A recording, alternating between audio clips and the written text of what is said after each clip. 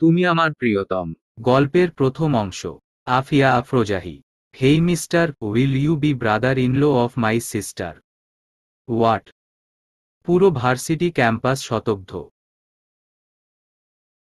নেই কোনো কোলাহল যেন এখানে সবে মাত্র কোনো বোম ব্লাস্ট হলো। একটা মেয়ের এত সাহস ভার্সিটিতে আসার এক সপ্তাহের মধ্যে ভার্সিটির সবচেয়ে রাগী, মেধাবী, সুদর্শন এটিটিউড সম্পন্ন ছেলে প্লাস ভার্সিটির ভিপি আরিয়ান খান আরাবকে সরাসরি প্রপোজ করে। ইংলিশ বুঝো না। ওকে সমস্যা নাই বাংলাই বলি। তুমি কি আমার বোনের দুলাভাই হবা?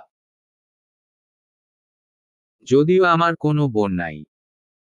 কিন্তু কাজিন আছে আরব মেয়েটাকে পর্যবেক্ষণ করে দেখল কালো লং শার্ট, কালো প্যান্ট, কালো শু, গলায় একটা ইয়ারফোন, মুখে মাস্ক আর চুলগুলো পিছনে ঝুটি করা মেয়েটিকে আগে ক্যাম্পাসে দেখেছে বলে মনে হয় না। দেখা শেষে হঠাৎই সে ধমকে বলে উঠল, এই মেয়েকে তুমি? এইগুলি কি সব কথাবার্তা? আমি তোমার জান আরশিয়া।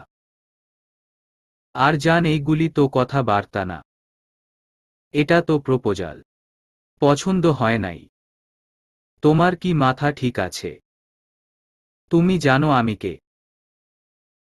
ওমা একই কথা, তুমি জানো না তুমি কে। ফাইজলামি করতাছো আমার সাথে। এই আরিয়ান খান আরাবের সাথে। তোমার সাহস তো কম না।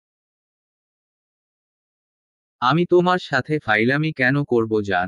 আমি তো তোমার সাথে প্রেম করব। আর সাহসটা আমার ছোটবেলা থেকেই বেশি। কথাটা বলেই চোখ টিপ দিয়ে একটা ফ্লাইং কিস ছুড়ে দিল আরশিয়া। আর্শিয়ার এই কাণ্ডে যেন আরাব একটু ভড়কে গেল। ওকে আরও একটু ভরকানোর জন্য ওর কাছে যেতে লাগল। এর মধ্যেই বাছাই কণ্ঠের এক ধমকে থেমে গেল আরশিয়া। এই মেয়ে একদম আমার কাছে আসবে না। দূরে যাও দূরে যাও বলছি। তোমার সাহস দেখে আমি বরাবর অবাক হচ্ছি যেখানে মেয়েরা ভয় আমার সামনে পর্যন্ত আসে না, সেখানে তুমি আমাকে ফ্লাইং কিস দাও। প্রশংসা করতে হয় তোমার। এরপর কিছুটা বাঁকা হেসে বলো। কিন্তু তুমি যে ভুল মানুষের সামনে ভুল কাজ করে ফেলেছ এর ফল তোমাকে ভুগতে হবে। Are you ready miss I am always ready for you জান উম্মা। বলে সেখান থেকে চলে আসল আর মনে মনে বলল প্রথম দিন এতটুকু ডোজি যথেষ্ট তাকে আমার কথা ভাবানোর জন্য। এসে গাড়িতে বসে ড্রাইভার আঙ্কেলকে বলল, আঙ্কেল, চলুন। কোথায় যাবে মামনি? অফিসে চলুন। ঠিক আছে, বলে আঙ্কেল গাড়ি স্টার্ট দিলেন। চলুন এবার আপনাদের পরিচয়টা দিয়ে দেই। আবরার চৌধুরী ও আয়শা চৌধুরীর একমাত্র মেয়ে আরিশোফা চৌধুরী আরশিয়া। আরশিয়ার যখন মাত্র চার বছর, তখন তার মা তাকে রেখে ওই দূর আকাশের তারা হয়ে যায়। আরশিয়ার বাবারা এক ভাই, এক বোন। ওর ফুফা দেশের বাহিরে থাকে, তাই ওর ফুফু ওর মা চলে যাওয়ার পর ওদের বাড়িতে চলে আসে এবং সেই আরশিয়াকে বড় করে। তার একটা ফুফাতো ভাই আছে, যার নাম আরিশ। সে আরশিয়ার থেকে দশ বছরের বড়। সে বিবাহিত প্লাস তার চার বছরের একটা ছেলে আছে। গাড়িটা জ্যামে আটকে আছে তাই আরশিয়া কি করবে ভেবে না পেয়ে ফোন বের করে টকিং টম গেমটা খেলা শুরু করল। সেই গেম খেলায় মগ্ন এমন সময় আঙ্কেল বলেন, আমরা এসে গেছি মামনি।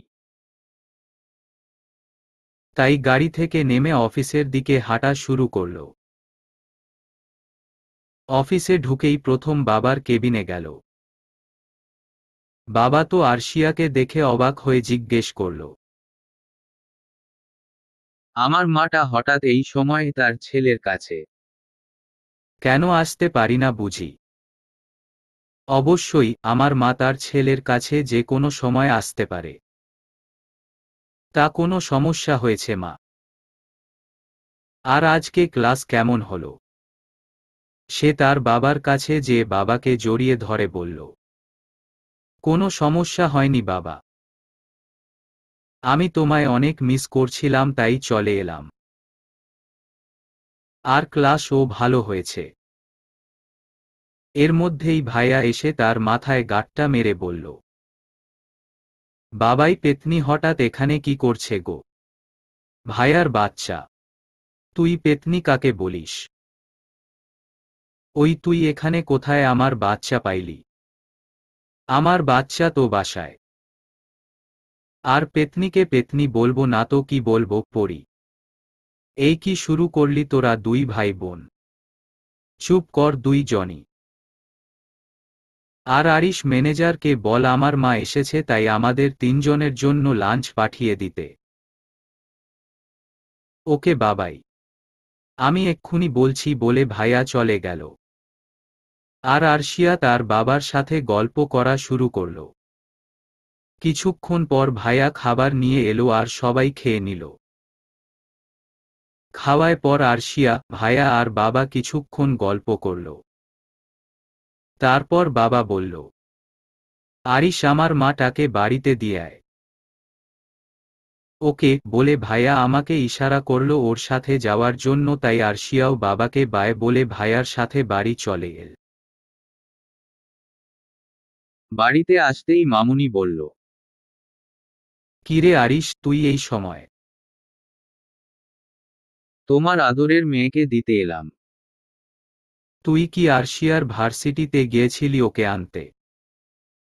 না তোমার মেয়ে তার বাবাকে নাকি মিস করছিল তাই অফিসে গিয়েছিল। আর বাবাই বলল ওকে দিয়ে যাওয়ার জন্য। ওকে আমি গেলাম। বলে ভাইয়া চলে গেল, আরশিয়াও মামনির সাথে ভিতরে গেল। এমন সময় একটা ডাকে থেমে গেল। আত্মা। বলেই আরশিয়ার পা জড়িয়ে ধরল তার ছোট বাবাটা। সেও তাকে কোলে তুলে সিঁড়ি দিয়ে হাঁটা দিল। পিছন থেকে ভাবি বলছে, আরুষ, বাবা, খাবারটা শেষ করে যাও। আমি খাব না, আমি আত্মার সাথে যাব। তোমার আত্মা মাত্র এসেছে, ফ্রেশ হয়ে নিক, তুমি আমার কাছে এসো। কিন্তু সে আরশিয়ার কাছ থেকে যাবে না। তাই আরশিয়া ওর ভাবিকে বলল, ভাবি বাদ দাও ও আর খাবে না, ও আমার সাথেই যাক। তোর আদরে আদরে ও একটা বাদর হয়ে যাচ্ছে। আমার দশটা না, পাঁচটা না, একটা মাত্র ভাতিজা তাকে আদর করব না তো কাকে আদর করব, বলো। বলে আরুষকে নিয়ে সিঁড়ি দিয়ে উঠে রুমের দিকে হাঁটা দিল। রুমে এসে আরুষকে বিছানায় বসিয়ে ওর হাতে একটা চকলেট দিয়ে বলল, বাবা, তুমি বসো। আত্মা, ফ্রেশ হয়ে আসি। তার বাবাটাও মাথা নেড়ে সায় দিল, তাই একটা টি শার্ট আর ট্রাউজার নিয়ে ওয়াশরুমে চলে গেল। ফ্রেশ হয়ে এসে দেখে আরুষ চকলেট মুখে নিয়ে ঘুমিয়ে গেছে। তাই আরশিয়া ওর কাছে দিয়ে চকলেট টানিয়ে মুখ মুছিয়ে দিয়ে ওকে জড়িয়ে ঘুমিয়ে পড়ল। রাত আটটার দিকে ঘুম থেকে উঠে দেখে আরুষ পাশে নাই, ভাবি হয়তো এসে নিয়ে গেছে। ফ্রেশ হয়ে নিচে গিয়ে দেখেলো তার বাবা আর ভাইয়াও চলে এসেছে। সবার সাথে কিছুক্ষণ গল্প করে ও ডিনার করে, রুমে এসে আবার একটা ঘুম দিল। সকালের একফালি মিষ্টি রোদ পর্দার ফাঁকা দিয়েও কি ঝুঁকি দিচ্ছে? চারিদিকে নতুন দিনের আমেজ। তাতে কি? আরশিয়া নামক রমণী নিদ্রা বিলাসে মগ্ন। পাশে রাখা ঘড়ি ও মুঠো ফোনটি জানান দিচ্ছে নিদ্রাভঙ্গের প্রহর ঘনিয়ে এসেছে। আরশিয়ার পাশে রাখা ফোনটি পঞ্চম বারের মতো সুর তুলে জানান দিল তাকে কেউ স্মরণ করছে। কিন্তু সে ঘুমে এতটাই মত্ত যে ফোন রিসিভ করার মতো সময় তার নেই। এখন তার সময় শুধু এবং শুধু ঘুমানোর জন্য। সকাল আটটা বাজে। আলেয়া বেগম ঘরে এলেন আরশিয়াকে ঘুম থেকে তোলার জন্য। সে বারবার ডাকছে কিন্তু ফলাফল শূন্য। আলিয়া বেগম মাঝে মাঝে ভাবেন এই মেয়ে নিষ্ঘাত কুম্ভকর্ণের ফিমেল ভার্সন। না হলে একটা স্বাভাবিক মানুষ এত গভীর ঘুমে কীভাবে ঘুমায়? একে তো তুলে নিয়ে গেলেও টের পাবে না। ঘড়ির দিকে তাকিয়ে দেখে দেরি হয়ে যাচ্ছে তাই এবার একটানে আরশিয়াকে উঠিয়ে বসালো। এভাবে উঠানোতে আরশিয়া বিরক্তি নিয়ে বলে উঠল মামনি আরেকটু ঘুমাতে দাও না। এরকম কেন করছ? হ্যাঁ তুই আরও ঘুমাতে থাক ওই দিক দিয়ে ক্লাস শুরু হয়ে যাক। কয়টা বাজে? আটটা কুড়ি বাজে। তোর ক্লাস না দশটা থেকে শুরু। হুম বলে আরশিয়া ফ্রেশ হতে ওয়াশরুমে চলে গেল। আলেয়া বেগম ওর বিছানা গুছিয়ে যেতে যেতে বলল, তৈরি হয়ে তাড়াতাড়ি নিচে আয়, তোর বাবা আর ভাইয়া বসে আছে, একসাথে নাস্তা করবে তাই। বলে চলে গেলেন। আরশিয়া তৈরি হয়ে নিচে যেয়ে দেখে সোফায় বসে তার বাবা খবরের কাগজ পড়ছে আর ভাইয়া আরুষকে নিয়ে খেলা করছে। সবাইকে, গুড মর্নিং বলে টেবিলে বসল। প্রতি উত্তরে ভাইয়া ও বাবা একসাথে, গুড মর্নিং বলল। আরশিয়া বসতেই তার বাবাও চলে এলো। ঘুম কেমন হলো আমার মায়ের? অনেক ভালো হয়েছে বাবা। পাশে থেকে আরিশ ঠাট্টা করে বলে উঠল। বাবাই কুম্ভকর্ণদের ঘুম সব সময় ভালোই হয়। ভাইয়া তুমি কিন্তু উল্টা পাল্টা কথা বলছো। আমি মোটেও কুম্ভকর্ণের মতো ঘুমাই না। এই জন্যই বলে সত্য কথার ভাত নাই। আর তুই কুম্ভকর্ণ কিনা এটা সবাই জানে। তাই নিজের হয়ে সাফাই গাইতে হবে না। এমন সময় রান্নাঘর থেকে মামনি ধমকে বলে উঠল, তোরা দুই ভাইবোন ঝগড়া থামিয়ে খাবি নাকি আমি আসব? তাই দুই ভাইবোন চুপচাপ খাওয়ায় মনোযোগ দিল। আরশিয়া খাচ্ছে আর আরিশের কোলে বসা আরুষের সাথে দুষ্টামি করছে। আবার মাঝে মাঝে ওকে খাইয়েও দিচ্ছে। খাওয়া শেষে দুই ভাইবোন সবার থেকে বিদায় নিয়ে বের হয়ে গেল।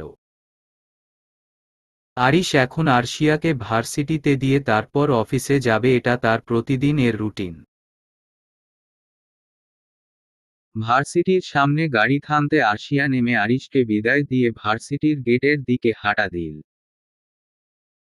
গেট দিয়ে ঢোকা মাত্র কেউ একজন তাকে জড়িয়ে ধরে পিঠে একটা থাপ্পড় দিয়ে দিল। থাপ্পড় দেওয়া ব্যক্তি এবার বলে উঠল, শালি পেতনি সকালে পাঁচবার ফোন দিলাম, রিসিভ করলি না কেন? আরশিয়া জড়িয়ে ধরা ব্যক্তিকে সামনে এনে দেখল, এ আর কেউ নয়, তারই বেস্টি তারিন। সে তারিনকে পাল্টা থাপ্পড় দিয়ে বলল, ওই তুই আমার কোন বোনরে বিয়া করছোছ যে তুই আমারে শালি বললি? আস্তাক ফিরুল্লাহ দোস্ত, তুই কি শরীফা থেকে শরীফে রূপান্তরিত হয়েছিস? দূরে যা, আমার থেকেই।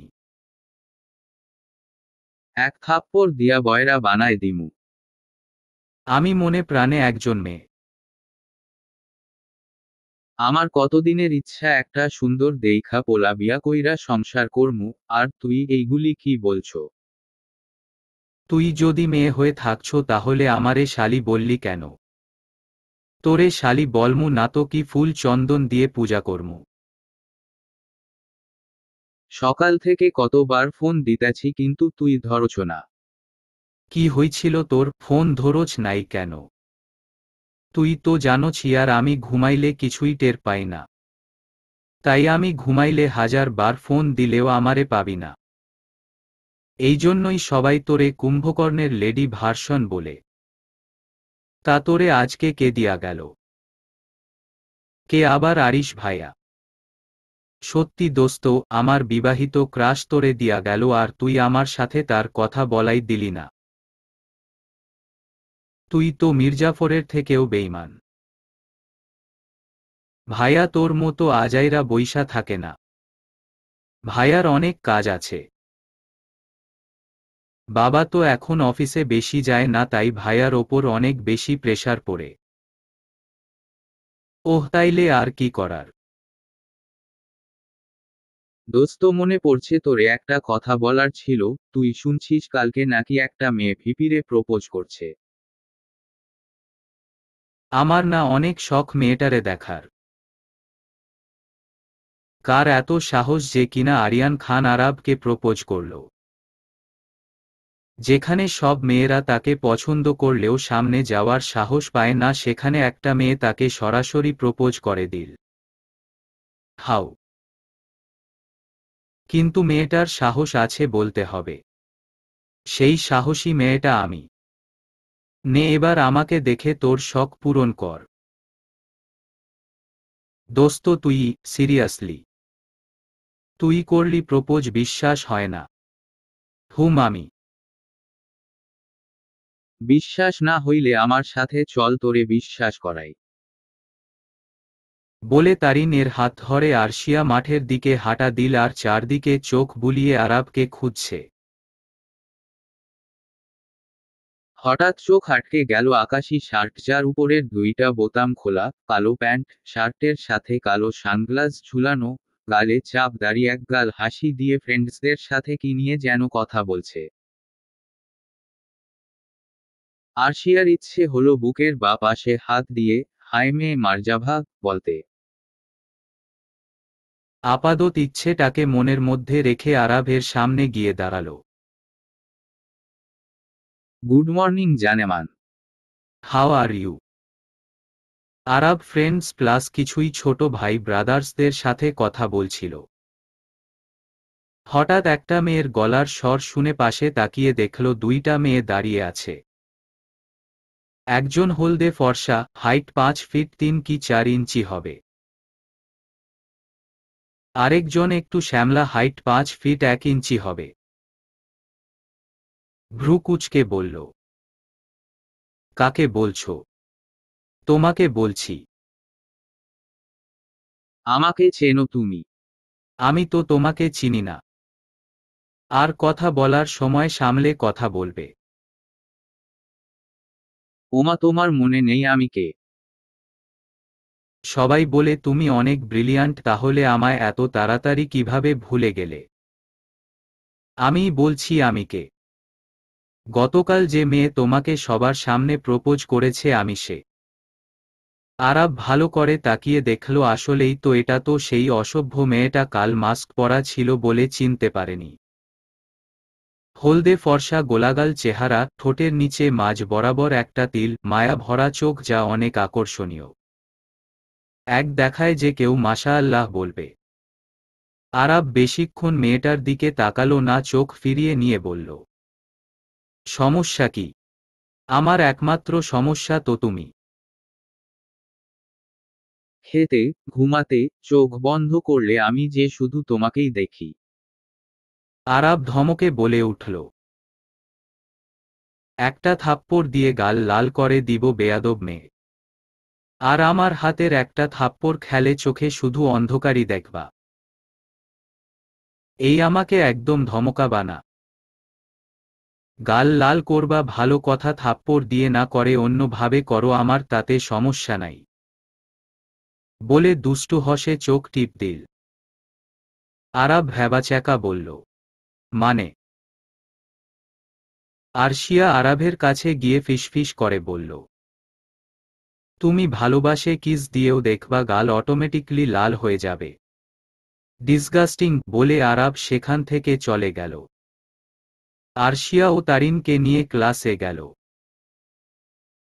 তারিন এতক্ষণ অবাক হয়ে আরশিয়াকে দেখছিল যেই মেয়ে তার আশেপাশে কোনো ছেলেকে ঘেঁষতে দেয়নি। কেউ প্রপোজ করলে ইচ্ছা মতো মাইর দিত সেই ভয়ে কেউ ওকে প্রপোজ ও করার সাহস করে না।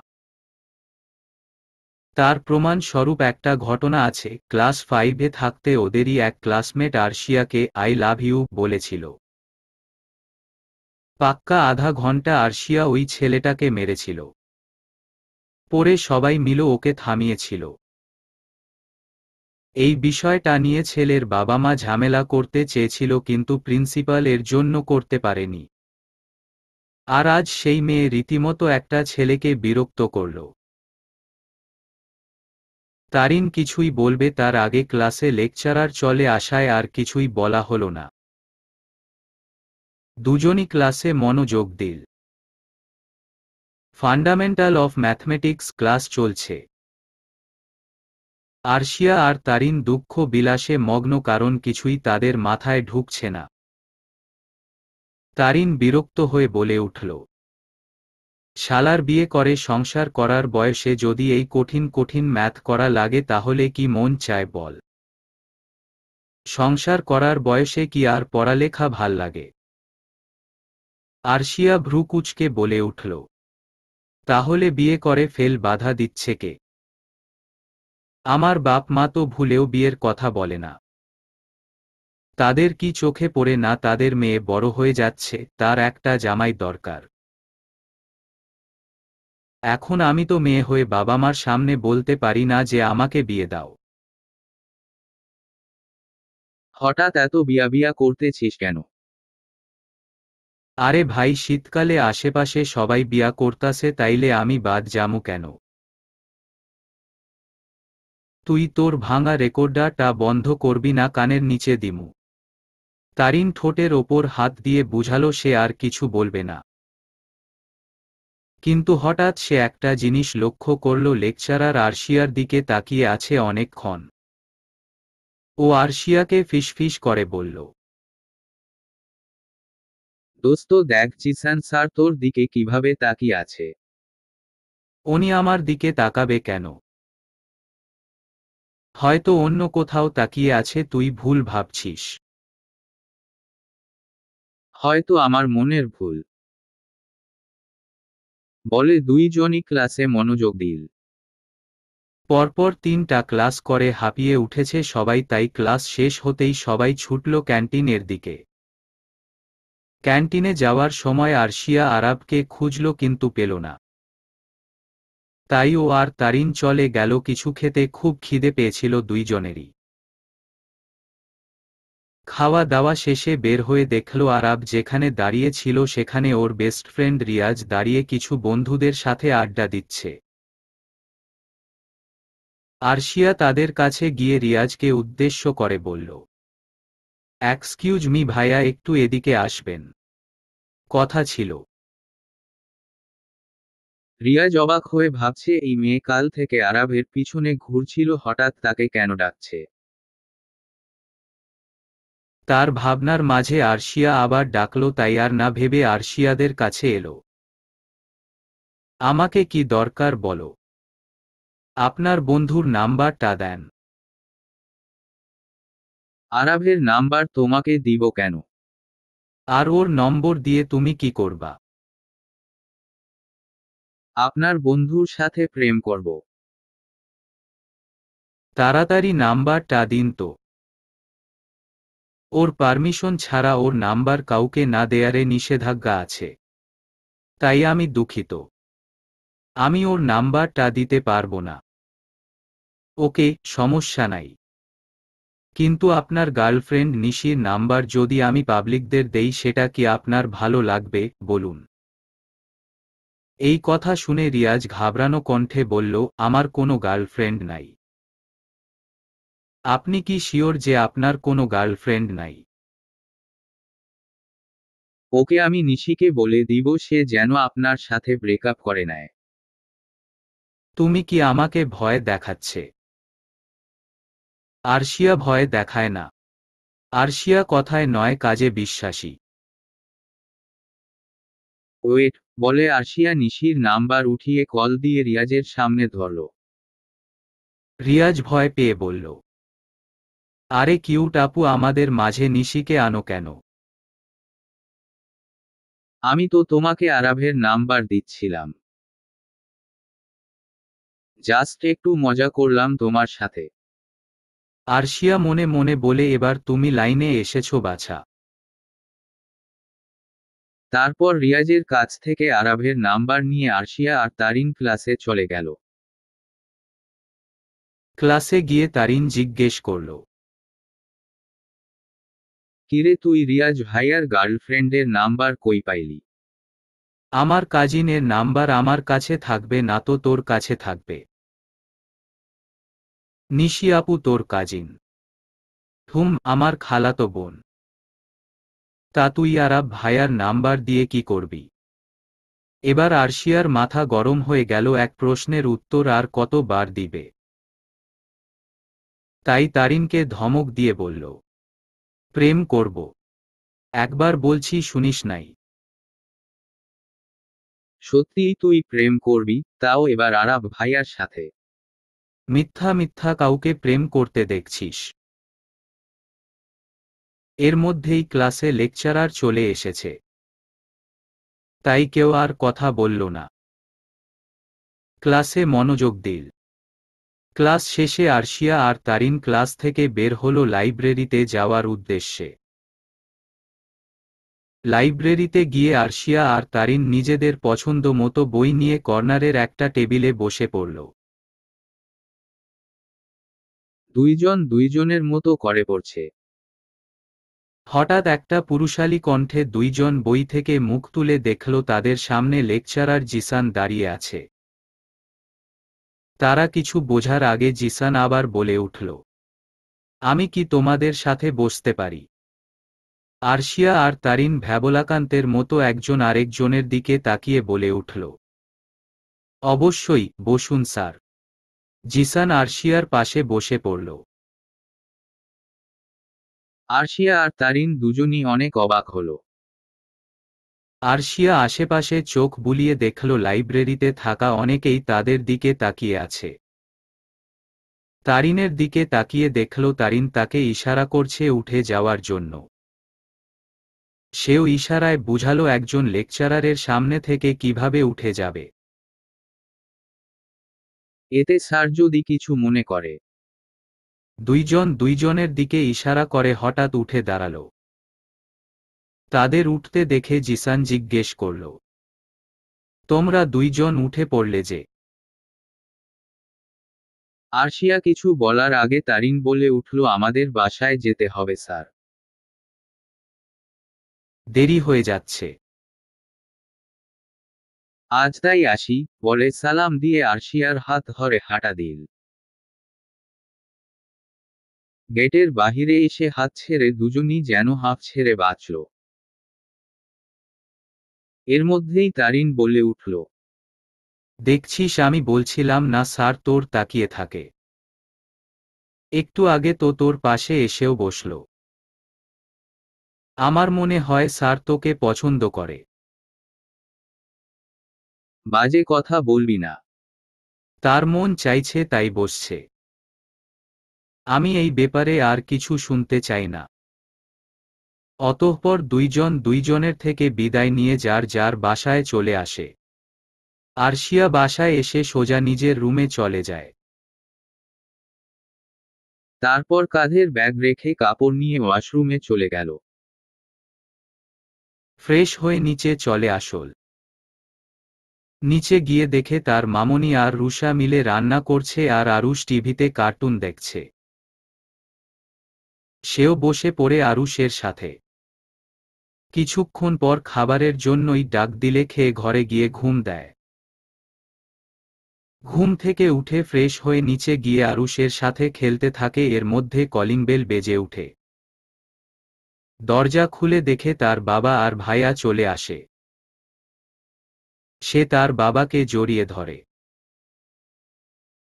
মা, আমি তো মাত্র অফিস থেকে আসলাম, ফ্রেশ হয়ে আসি, তারপর তোমার সাথে কথা বলব, বলে আরশিয়ার কপলে চুমু দিয়ে ঘরে চলে যায়।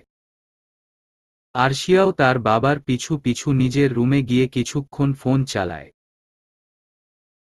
ডিনারের জন্য ডাক পড়তেই নিচে গিয়ে টেবিলে বাবার পাশে বসে পড়ে। খাওয়ার মাঝে হঠাৎ তার বাবা বলে উঠো, মা, তোমাকে কিছু বলার ছিল। বলো বাবা কি বলবে? আসলে আমাদের নেক্সট প্রজেক্টের কাজ একটু বেশি যা আরিশ একা করতে পারবে না। তাই আমি ভাবছি তুমি যদি ওকে হেল্প করতে তাহলে ভালো হতো। ওকে বাবা সমস্যা নেই। যদিও আমি এত তাড়াতাড়ি অফিসের কাজে নিজেকে জোড়াতে চাইনি।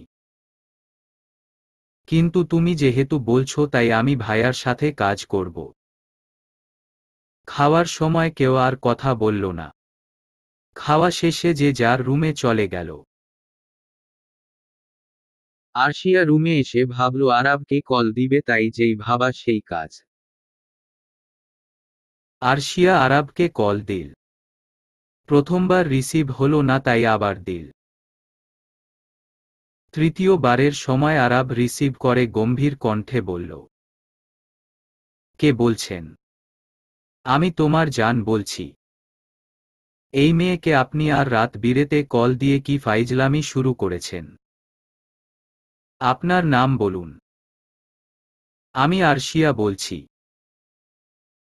তা জানেমান কি করছিলেন আপনি? আমি কি করছি না করছি তা তোমাকে বলব কেন? আর তুমি আমার নাম্বার কথায় পেলে? যেখান থেকেই পাই। বলুন কি করছিলেন? বারান্দায় দাঁড়িয়ে প্রেমিকার কথা ভাবছি। আমার জানা মতে আপনার কোনো প্রেমিকা নেই। আর যদি থেকেও থাকে ব্রেকআপ করে ফেলুন।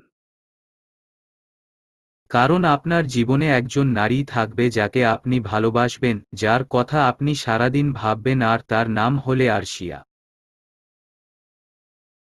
তুমি কি আমাকে অর্ডার করছ? তোমার সাহস তো কম নামে। হুম, আমি আপনাকে অর্ডার করছি। এখন তাড়াতাড়ি ঘুমিয়ে পড়ুন। আল্লাহ হাফেজ।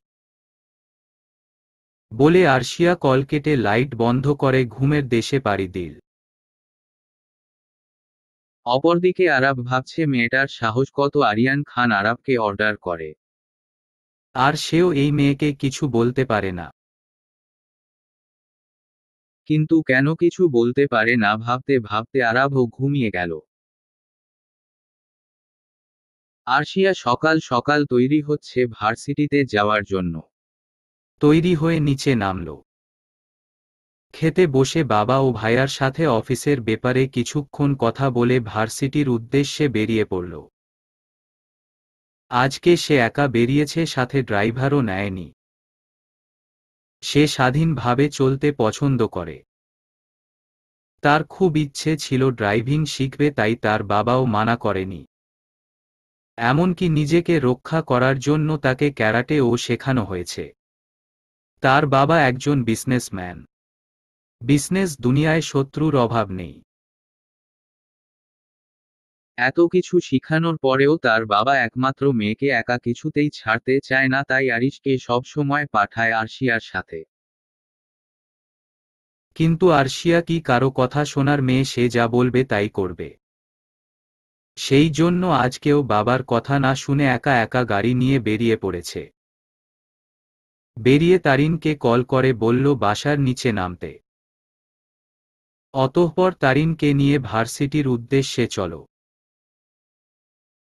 ভার্সিটিতে যেয়ে দেখে মাঠের মধ্যে মানুষ জড়ো হয়ে আছে। আরশিয়া আর তারিন কিছুটা সামনে যেয়ে দেখে আরাব, রিয়াজ ওদের ফ্রেন্ডরা মিলে কিছু ছেলেদের মারছে। আরশিয়া হঠাৎ খেয়াল করে একটা ছেলে আরাভের দিকে লাঠি নিয়ে যাচ্ছে। আরাভের উল্টো দিকে ঘুরেছিল। তাই সেদিকে তার খেয়াল নেই, সে অন্য একজনকে মারছে। আরশিয়া তার ব্যাগ তারিনের হাতে দিয়ে দৌড়ে গিয়ে ছেলেটার হাতের লাঠি ধরে ফেলল।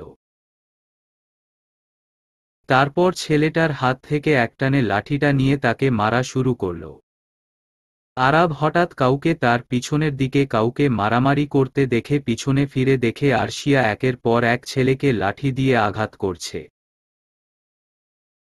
আরাব কিছুক্ষণ অবাক দৃষ্টিতে তাকিয়ে রইল। এরপর নিজেও ছেলেগুলোকে মারা শুরু করল। হঠাৎ কেউ কিছু বোঝার আগে আরাভের পিঠে কিছু একটা ধাক্কা খেল, সে পিছনে তাকিয়ে দেখে আরশিয়া পড়ে যাচ্ছে। আরাব তাড়াতাড়ি আরশিয়াকে ধরে ফেলল। তাকিয়ে দেখে আরশিয়ার কপাল বেয়ে রক্ত পড়ছে। কেউ কিছু বোঝার আগে পরিবেশ নিস্তব্ধ হয়ে গেল। কি থেকে কি হয়ে গেল কেউ কিছু বুঝল না। আরাব যেন হতবাক হয়ে গেল। আসলে যেই ছেলে আরশিয়ার জন্য আরাবকে একটু আগে মারতে পারেনি, সেই ছেলেই আরশিয়ার মাথায় মারে। আরাব আরশিয়ার গালে হালকা চাপড় মেরে বলে উঠল, এই মেয়ে কথা বলো, কি হয়েছে তোমার? চোখ খোলো। তারিনও কিছুক্ষণের জন্য স্তব্ধ হয়ে গিয়েছিল। মস্তিষ্ক কাজ করা বন্ধ হয়ে গিয়েছিল। যখন খেয়াল হলো, তাড়াতাড়ি দৌড়ে এসে বলো, দোস্ত, কি হয়েছে তোর? চোখ খোল না ইয়ার। ভাইয়া, ওর কপাল থেকে তো রক্ত পড়ছে, তাড়াতাড়ি ওকে নিয়ে হসপিটালে চলুন। আরাব আরশিয়াকে কোলে নিয়ে হাঁটা শুরু করল। ওর ফ্রেন্ডদের বলল, এদিকটা সামলে নিতে। আর রিয়াজকে বলল, ওর সাথে আসতে। রিয়াজ তাড়াতাড়ি ড্রাইভিং সিটে বসল। আরাব আরশিয়াকে কোলে নেওয়া অবস্থায় পিছনে বসল। তারিন আরাভের পাশে বসে আরশিয়াকে অনবরত ডেকে চলেছে। গাড়ি হসপিটালের সামনে থামলে আরাব আরশিয়াকে নিয়ে তাড়াতাড়ি নেমে ভিতরের দিকে হাঁটা দিল। তারিনও তার সাথে গেল। আরাব রিসেপশনে জিজ্ঞেস করে একটা কেবিনে ঢুকে আরশিয়াকে বেডে শুইয়ে দিল। এর মধ্যে ডক্টর এসে জিজ্ঞেস করল, এনার কি হয়েছে? আরাব অস্থির কণ্ঠে বলল, মাথায় আঘাত পেয়েছে। মাথা থেকে রক্ত পড়ছে। ডক্টর, প্লিজ তাড়াতাড়ি কিছু করুন। আপনারা চিন্তা করবেন না, আমি দেখছি। তারিন কেবিনের এক কোনায় দাঁড়িয়ে কান্না করেই যাচ্ছে। ওর চোখের সামনে এখনও ভাসছে আরশিয়ার আঘাত পাওয়ার দৃশ্য। আরাব তারিনের কাছে এসে বলল, আরশিয়ার ফ্যামিলি মেম্বারদের বলার জন্য। তারিন আরশিয়ার ফোন থেকে আরিশকে কল দিল। ফোন রিসিভ করে আরিশ বলল কিরে বনু, আজকে হঠাৎ এই সময়ে কল দিলি। তারিন কাপা কাপা গলায় বলল ভাইয়া আমি তারিন। তারিন, তুমি আরশিয়ার ফোন থেকে ফোন করেছে, আরশিয়া কোথায়? তারিন কান্না করতে করতে বলল ভাইয়া আপনি তাড়াতাড়ি সিটি হসপিটালে চলে আসুন। আরিশ উদিগ্ন কণ্ঠে বলল, হঠাৎ হসপিটালে আসব কেন? আরশিয়া কোথায় ওকে ফোন দাও? ও কোথায়? ও ঠিক আছে তো। তারিন কান্নার ফলে কিছু বলছে না। ওই দিক থেকে আরিশ অনবরত জিজ্ঞেস করেই যাচ্ছে, কি হয়েছে? আরাব তারিনের থেকে ফোন নিয়ে আরিশকে বলল, ভাইয়া আরশিয়া কপালে ব্যথা পেয়েছে। কপাল থেকে রক্ত পড়ছে। আমরা ওকে নিয়ে হসপিটালে এসেছি, আপনিও তাড়াতাড়ি চলে আসেন।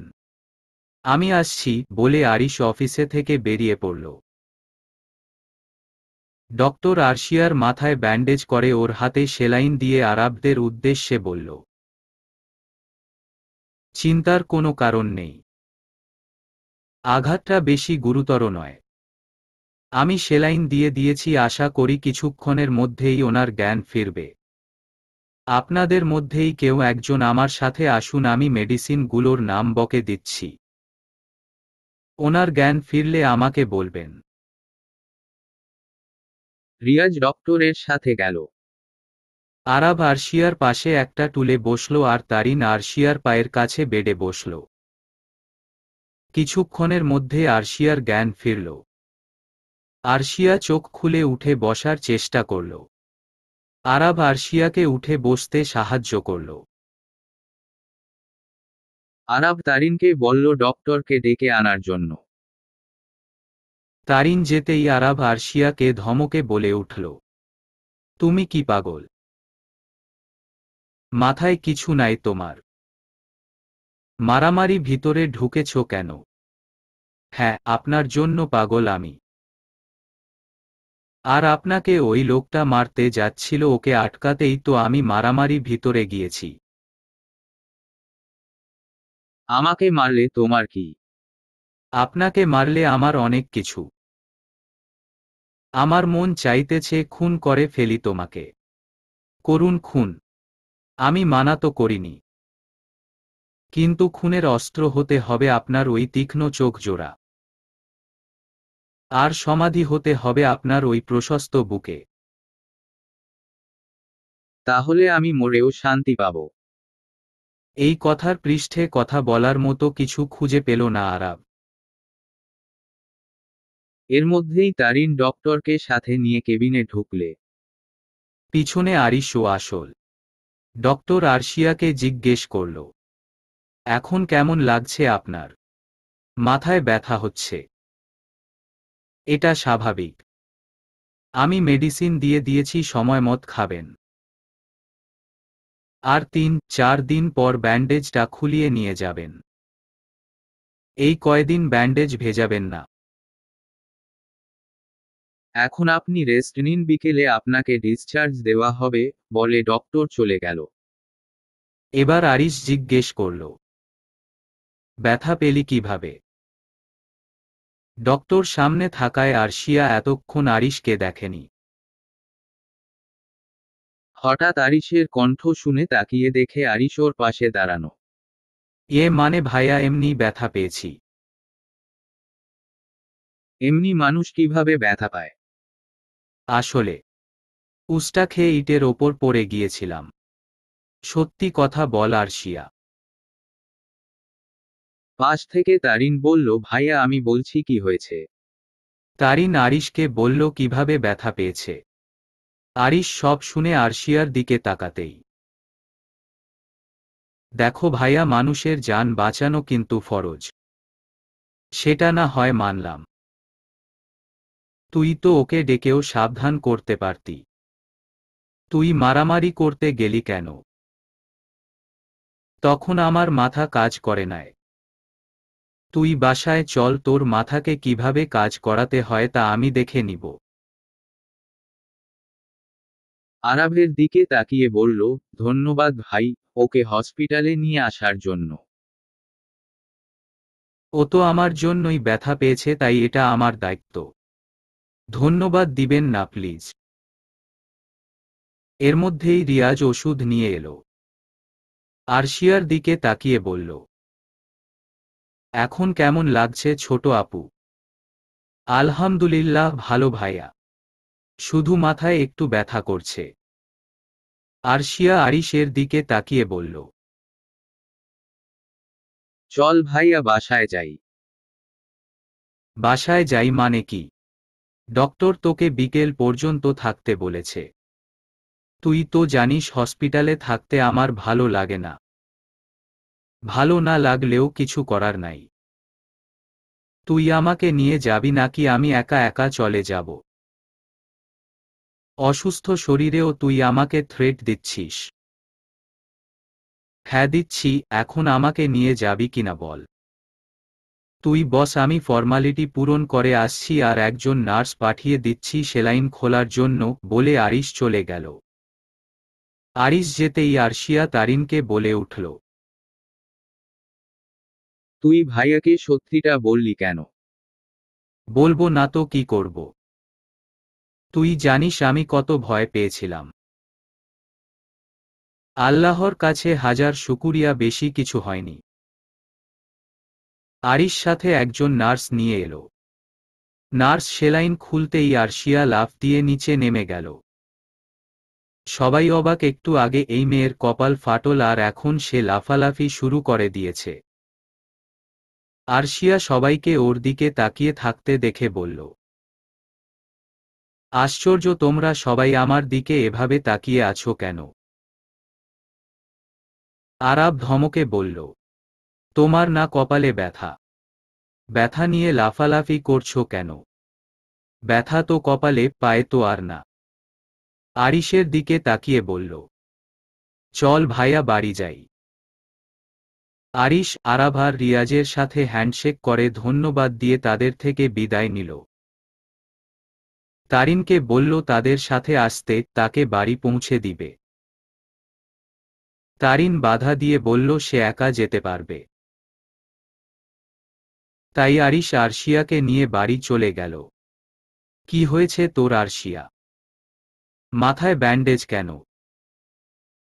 কি হয়েছে মামনিকে বলে। কীভাবে ব্যথা পেলি? আরশিয়া আর আরিশ বাসায় আসার পর দরজা খুলে আলেয়া বেগম বিচলিত কণ্ঠে একের পর এক প্রশ্ন করেই যাচ্ছে। আরশিয়া আসার পথে গাড়িতে আরিশকে রিকোয়েস্ট করেছে বাসায় যেন সে সত্যি কথা না বলে। আরিশও তাকে বলে দিয়েছে এরকম ঘটনা দ্বিতীয়বার যেন না হয়। আরিশ তার মাকে থামাতে আরশিয়ার শিখে দেওয়া কথা বলল। মা বনু উস্তা খেয়ে ইটের ওপর পড়ে ব্যথা পেয়েছে। টেনশনের কিছু নেই। ডক্টর বলছে এক সপ্তাহের মধ্যে ঠিক হয়ে যাবে। বেশি কিছু হয়নি বলছিস, অল্প ব্যথায় ব্যান্ডেজ করার মতো মেয়েও না। আরশিয়া তার মামনিকে থামাতে বলল। সত্যিই বেশি কিছু হয়নি মামনি। তুমি টেনশন করো না। এর মধ্যেই আরশিয়ার বাবা নিচে নেমে এসেছেন। তিনি আজকে লাঞ্চ টাইমেই বাসায় চলে এসেছেন। আরশিয়ার মাথায় ব্যান্ডেজ দেখে কিছুক্ষণ থমকে দাঁড়িয়ে রইলেন। এরপর তাড়াতাড়ি নিচে এসে মেয়েকে বুকে জড়িয়ে নিলেন। এত আদরের মেয়ে তার। মেয়ের গায়ে সামান্য আচর লাগলেও মনে হয় তার হৃদয়ে রক্ত ক্ষরণ হয়। এসব কীভাবে হলো মা?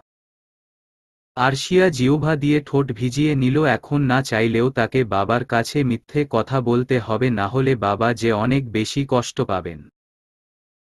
আসলে বাবা, আমি বেখেয়ালি ভাবে হাঁটতে যেয়ে উস্টা খেয়ে ইটের ওপর পড়ে গিয়েছিলাম। ডক্টর বলে দিয়েছে, বেশি কিছু হয়নি। তুমি টেনশন করো না বাবা। এরপর সাবধানে চলাফেরা করবে মা। তুমি তো জানো তুমি আমার একমাত্র সন্তান তুমি ব্যথা পেলে বাবার যে অনেক কষ্ট হয়। তুমি কষ্ট পেও না বাবা এরপর আমি সব সময় সাবধানে চলাফেরা করব। এখন একটু হাসো। আবার আর সাহেব মেয়ের কথায় মুচকি হাসলেন। ডাইনিং থেকে আলেয়া বেগম বলল বাবা মেয়ের ভালোবাসা শেষ হলে আরশিয়া তাড়াতাড়ি ফ্রেশ হয়ে আয়, সবাই একসাথে লাঞ্চ করব। মামনি, আমার ছোট বাবাটা কোথায় গো? রুষা ওকে খাবার খাইয়ে ঘুম পাড়াতে নিয়ে গেছে। তুই ফ্রেশ হতে যা। আরশিয়া ঘরে এসে জামাকাপড় নিয়ে ফ্রেশ হতে গেল। ফ্রেশ হয়ে এসে নিচে গিয়ে টেবিলে বসে পড়ল। আরশিয়া নিজের হাতে খেতে নিবে, তার আগে দেখে তার বাবা তার মুখের সামনে খাবার ধরে রেখেছে। সে তার বাবার দিকে তাকাতে তার বাবা বলল,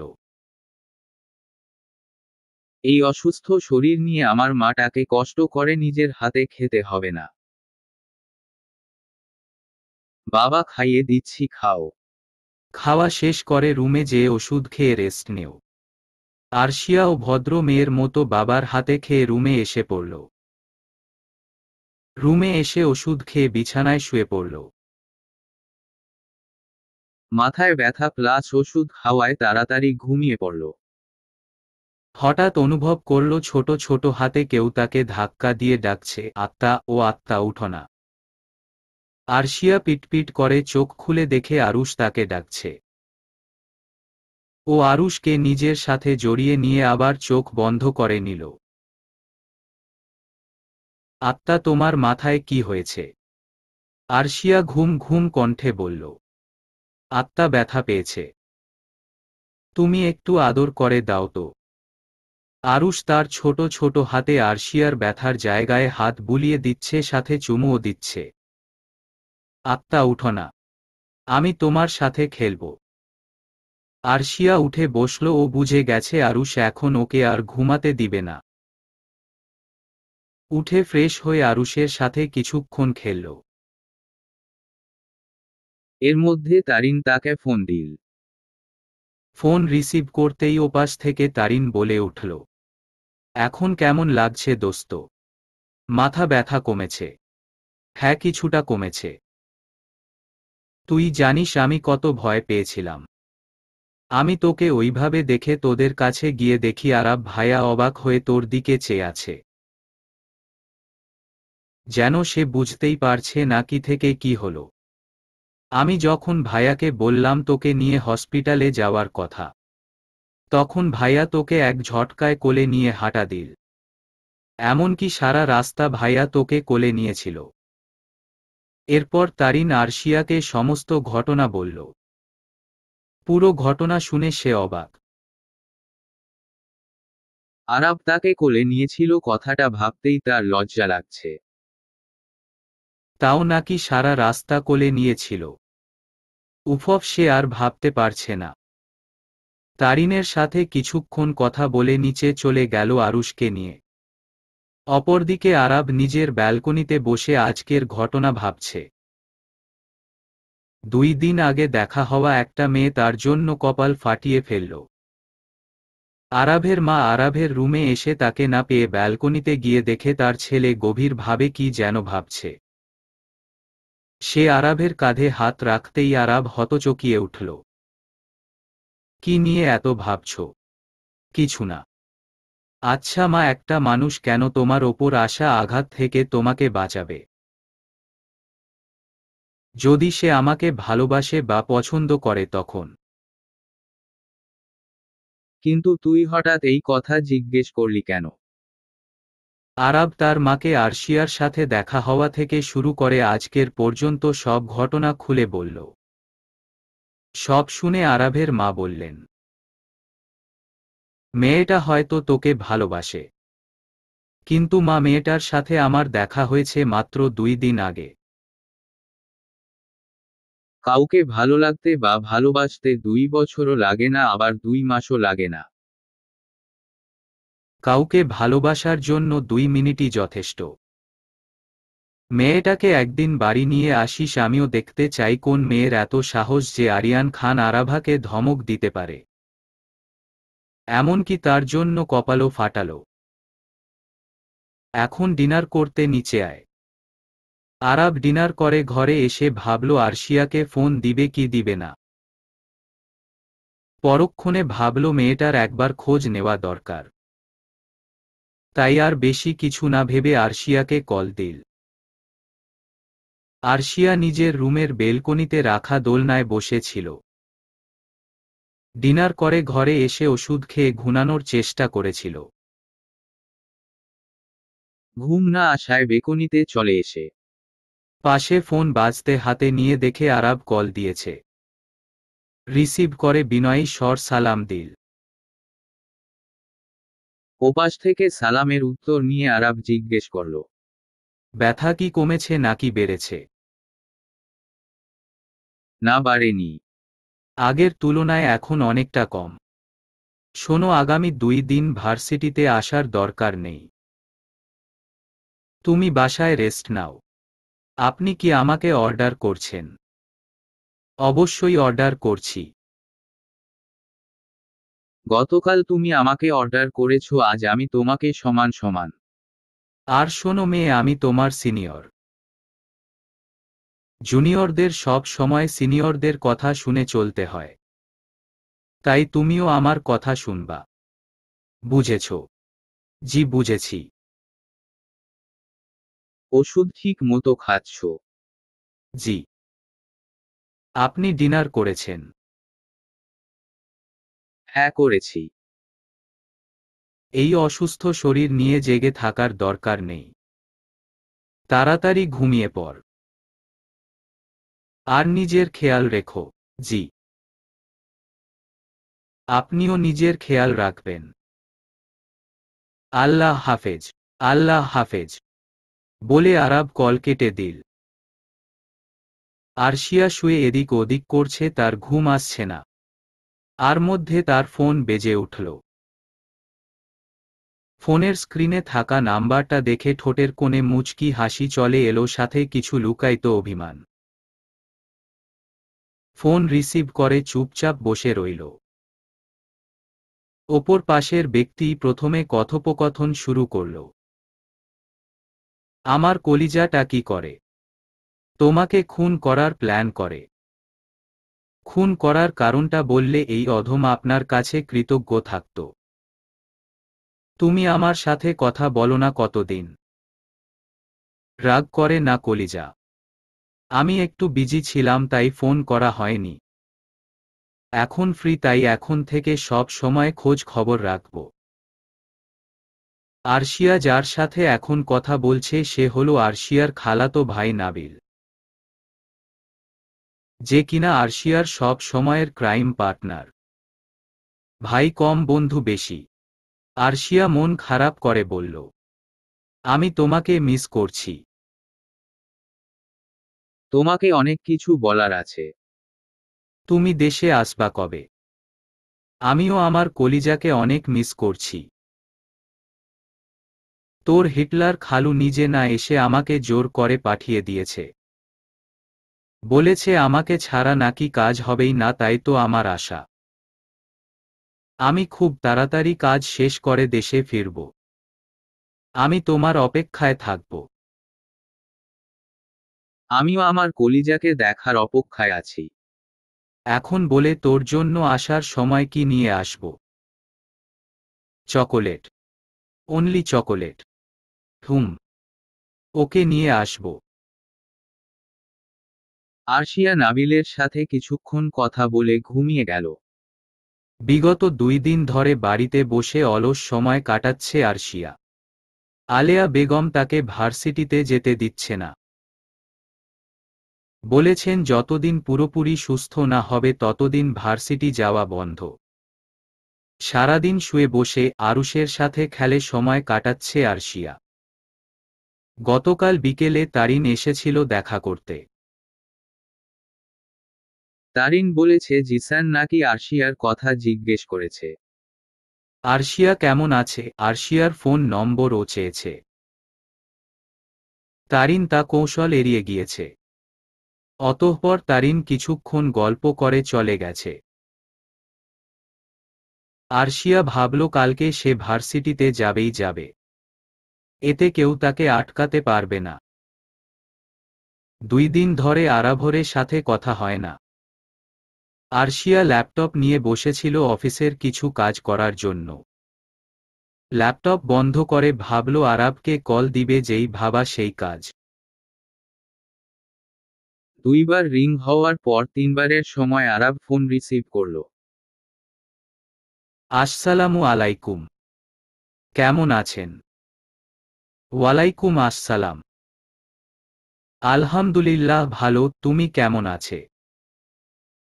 আলহামদুলিল্লাহ ভালো। আমি কেমন আছি সেই খবর নেয়ার মতো সময় কি আপনার কাছে আছে? আপনি তো মহা বিজি ব্যক্তি। আরাব বুঝল আরশিয়া তার সাথে অভিমান করেছে। সে নিজের হয়ে সাফাই গাইতে বলে উঠল। আসলো আমি একটু বিজি ছিলাম ওই দিনের মারামারি ঘটনাটা নিয়ে। তাই তোমার খবর নিতে ভুলে গিয়েছিলাম। আপনি খুবই খারাপ। আমি আপনার সাথে আর কথা বলব না। আরশিয়ার কথা শুনে আরাব মনে মনে কিছুটা হাসল। এই মেয়েটা এখন তার নামে অভিযোগ করাও শুরু করেছে। আর কি কি করবে আল্লাহ মালুম। মেয়েরা তার সাথে একেবারেই কথা বলে না এমনটা নয় বলে খুবই অল্প। ভার্সিটির ভিপি হওয়ার দরুন কোনো সমস্যার সম্মুখীন হলে অভিযোগ করতে তার সাথে কথা বলে। আর এই মেয়ে তার কাছে তার নামেই অভিযোগ করছে। আমি জানি আমি খারাপ, নতুন কিছু বলো। আর তুমি কথা না বললে আমার কোনো সমস্যা নেই, উল্টা আমার তো আরও ভালো। হ্যাঁ ভালো তো হবেই। আপনাকে তো আর কেউ জ্বালানোর মতো থাকবে না। হুম, ঠিক ধরেছ। আপনি সেটা ভেবে থাকলে সেগুড়ে বালি। আমি যতদিন বেঁচে থাকব ততদিন আমি আপনাকে জ্বালাবো। আমি ছাড়া অন্য কেউ আপনাকে জ্বালাতে পারবে না। আপনাকে জ্বালানোর অধিকার শুধু আমার। আমি কি তোমাকে সেই অধিকার দিয়েছি? আমাকে অধিকার দিতে হয় না আমি নিজে নিজেরটা নিজে আদায় করে নিতে পারি। বুঝেছেন? হুম বুঝলাম। এখন বলো তোমার কপালের ব্যথার কি অবস্থা? আলহামদুলিল্লাহ ভালো। এখন আর ব্যথা নেই। নিয়ম করে ওষুধ খাবে আর নিজের খেয়াল রাখবে। এখন রাখছি আমার কিছু কাজ আছে। আরব ফোন রাখার পরে আরশিয়া আবার ল্যাপটপ নিয়ে বসেছে। অফিসের কিছু কাজ এখনও বাকি। সেগুলো কমপ্লিট করে নিচে গেল ডিনার করার জন্য। ডিনার করে ঘরে এসে তারিনকে ফোন করে জানিয়ে দিল কালকে সে কলেজে যাবে। এরপর ঘুমিয়ে গেল। সকাল সকাল আরশিয়া রেডি হচ্ছে ভার্সিটি যাওয়ার জন্য। রেডি হয়ে নিচে নামতেই আলেয়া বেগমের প্রশ্নের সম্মুখীন হতো হলো তাকে। এত সকালে রেডি হয়ে কথায় যাচ্ছিস? ভার্সিটি যাচ্ছি মামনি। তোকে না বললাম সুস্থ না হওয়ার আগে যেতে। আমি এখন সম্পূর্ণ সুস্থ আছি মামনি। তুমি টেনশন করো না। আর এই তিন দিনে আমার অনেকগুলি ক্লাস মিস গিয়েছে। সামনে পরীক্ষা আছে তাই আজকে যেতেই হবে। তুমি প্লিজ রাগ করো না। আমার রাগ করাতে তোদের কিছু আসে যায় নাকি? ভার্সিটি যাবি যা কিন্তু আরিশ তোকে দিয়ে আসবে। ওকে, বলে আরশিয়া খাওয়া শুরু করল। খাওয়া শেষ করে আরিশের সাথে ভার্সিটির জন্য বেরিয়ে পড়ল। আসার পথে আরিশ তাকে বারবার নিষেধ করল কোন প্রকার মারামারিতে না জোড়াতে। সেও সম্মতি দিল। আরিশ আরশিয়াকে ভার্সিটির সামনে নামিয়ে দিয়ে চলে গেল। আরশিয়া তাকিয়ে দেখে তারিন তার জন্য গেটের সামনে দাঁড়িয়ে আছে। অতঃপর দুইজন একসাথে ভার্সিটির ভিতরে চলে গেল। আরশিয়া চারপাশে চোখ বুলিয়ে আরবকে খুঁজছে। খুঁজতে খুঁজতে এক সময় পেয়েও গেল। বাইকের সাথে হেলান দিয়ে রিয়াজের সাথে কোনো বিষয় নিয়ে আলোচনা করছে আরব। আরশিয়া তারিনকে নিয়ে সেদিকে চলল। আরশিয়াকে দেখে রিয়াজ বলে উঠল, আরে ছোট আপু যে কেমন আছো? আলহামদুলিল্লাহ, ভালো আছি ভাইয়া। আপনি কেমন আছেন?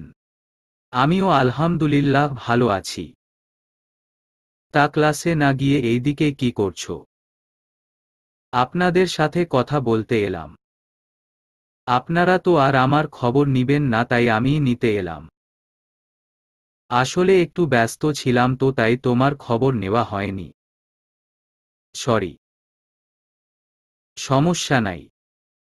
তা আপনার বন্ধু কি বোবা হয়ে গেল নাকি? আরাব ধমকের স্বরে বলে উঠল। এই মেয়ে তুমি আমাকে বোবা বলছো। কেন শুনতে পাননি? বোবা না হলে নিশ্চয়ই কথা বলতেন। তা কি কথা শুনতে চাও? প্রেমময় বাক্য বলে তারিনকে নিয়ে দৌড়ে চলে এলে। ওখানে থাকলে আরব নিশ্চয়ই তাকে একটা রাম ধমক দিত। আর এই দিকে আরব ভেবাচেকা খেয়ে আরশিয়াদের যাওয়ার দিকে তাকিয়ে আছে। যখন বুঝল আরশিয়া ওর ভয় পালিয়েছে তখন শব্দ করে হেসে ফেলল। ক্লাস চলছে প্রথম সারির তিন নম্বর বেঞ্চে বসে আরশিয়া ও তারিন মনোযোগ দিয়ে জিসান স্যারের কথা শুনে যাচ্ছে। পোড়ানোর ফাঁকে ফাঁকে জিসান আরশিয়ার দিকে তাকাচ্ছে। সেটা আরশিয়া ও তারিন দুজনই লক্ষ্য করেছে। ক্লাসের শেষের দিকে যাওয়ার আগে জিসান আরশিয়ার উদ্দেশ্যে বলে উঠল, মিস আরশিয়া, ক্লাস শেষে আমার সাথে দেখা করবেন। আরশিয়া মাথা নেড়ে সায় দিল, কারণ এছাড়া আর কোনো উপায় নেই, শত হোক জিসান তার শিক্ষক। তাকে জিসানের কথা শুনতে হবে, কিন্তু সে ভাবছে জিসান কেন তাকে ডাকবে। ভাবতে ভাবতে ক্লাস শেষ এবার জিসানের সাথে যাওয়ার পালা তারিন তাকে ইশারায় যেতে বলল, সাথে এই আশ্বাসও দিল যে কিছু হবে না। জিসান আগে আর তার আরশিয়া পিছন পিছন যাচ্ছে। কেবিনে ঢুকে জিসান আরশিয়াকে চেয়ারে বসতে বলে সে গিয়ে নিজের চেয়ারে বসল। অস্বস্তি নিয়ে আরশিয়া চেয়ারে বসে পড়ল। এই তিন দিন আসেননি কেন? অ্যাকচুয়ালি স্যার, আমি একটু অসুস্থ ছিলাম, তাই আসতে পারিনি। এখন কেমন আছেন? জি, এখন আলহামদুলিল্লাহ ভালো আছি। কিছু সিট আরশিয়ার সামনে রেখে বলল, এই নিন, এখানে সব পড়া আছে যেগুলো আপনি মিস করেছেন। আপনার কষ্ট করার দরকার ছিল না স্যার, আমি তারিনের কাছ থেকে নিয়ে নিতে পারতাম। আপনাকে কে বলল, এতে আমার কষ্ট হয়েছে। মানে? কিছু না। মন দিয়ে পড়াশোনা করবেন। আর আপনার ফোন নাম্বারটা দিন তো। আরশিয়া অবাক হয়ে বলল, কেন? আমি আপনার শিক্ষক, আমার কাছে আপনার নাম্বার থাকতেই পারে স্বাভাবিক। আরশিয়ার ইচ্ছে না থাকা সত্ত্বেও নাম্বার দিতে হল। যতই হোক শিক্ষক বলে কথা। নাম্বার দেওয়া শেষে আরশিয়া বলে উঠল স্যার এবার কি আমি যেতে পারি? জি যেতে পারেন। আর পড়াশোনায় কোথাও সমস্যা হলে নির্দ্বিধায় বলবেন। আরশিয়া মাথা নেড়ে সায় জানিয়ে বাহিরে চলে এল। বাহিরে এসে দেখে তারিন সেখানে আগে থেকেই দাঁড়িয়ে আছে। আরশিয়াকে দেখে তারিন জানতে চাইল জিসান কি বলার জন্য তাকে ডেকেছে? আরশিয়া হাতের সিট দেখিয়ে ভিতরে জিসানের সাথে তার কি কি কথা হয়েছে সব বলল। সব শুনে তারিন বলল, আমি তোকে বলেছিলাম না জিসান স্যার তোকে পছন্দ করে। এখনকার ঘটনার পর তো আমি পুরাপুরি সিউর যে জিসান স্যার তোকে পছন্দ করে। সে পছন্দ করতেই পারে সেটা তার ব্যাপার। কিন্তু আমি অন্য কাউকে ভালোবাসি। এখন ক্যান্টিনে চলে কিছু খেয়ে আসি। ক্যান্টিনে যেয়ে দেখল আরব, রিয়াজ তাদের কিছু ফ্রেন্ডসদের সাথে আড্ডা দিচ্ছে। আরশিয়া তাদের কাছে গিয়ে বলল, আসসালামু আলাইকুম, ভাইয়ারা কেমন আছেন? আরশিয়ার কথা শুনে সবাই পিছনে ঘুরল।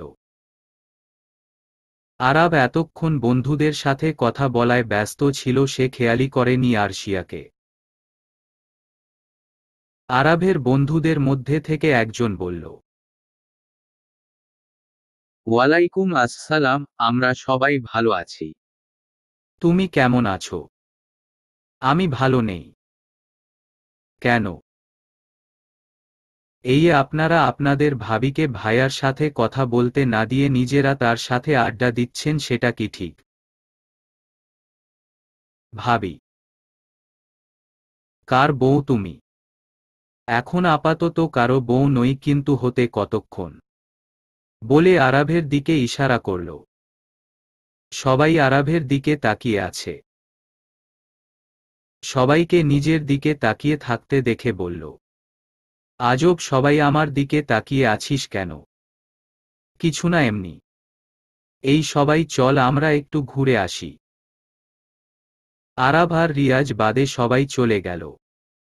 আরশিয়া আরাভের পাশের চেয়ারে বসে পড়ল আর তারিন তার পাশে। এর মধ্যে আরশিয়াদের খাবার চলে এল।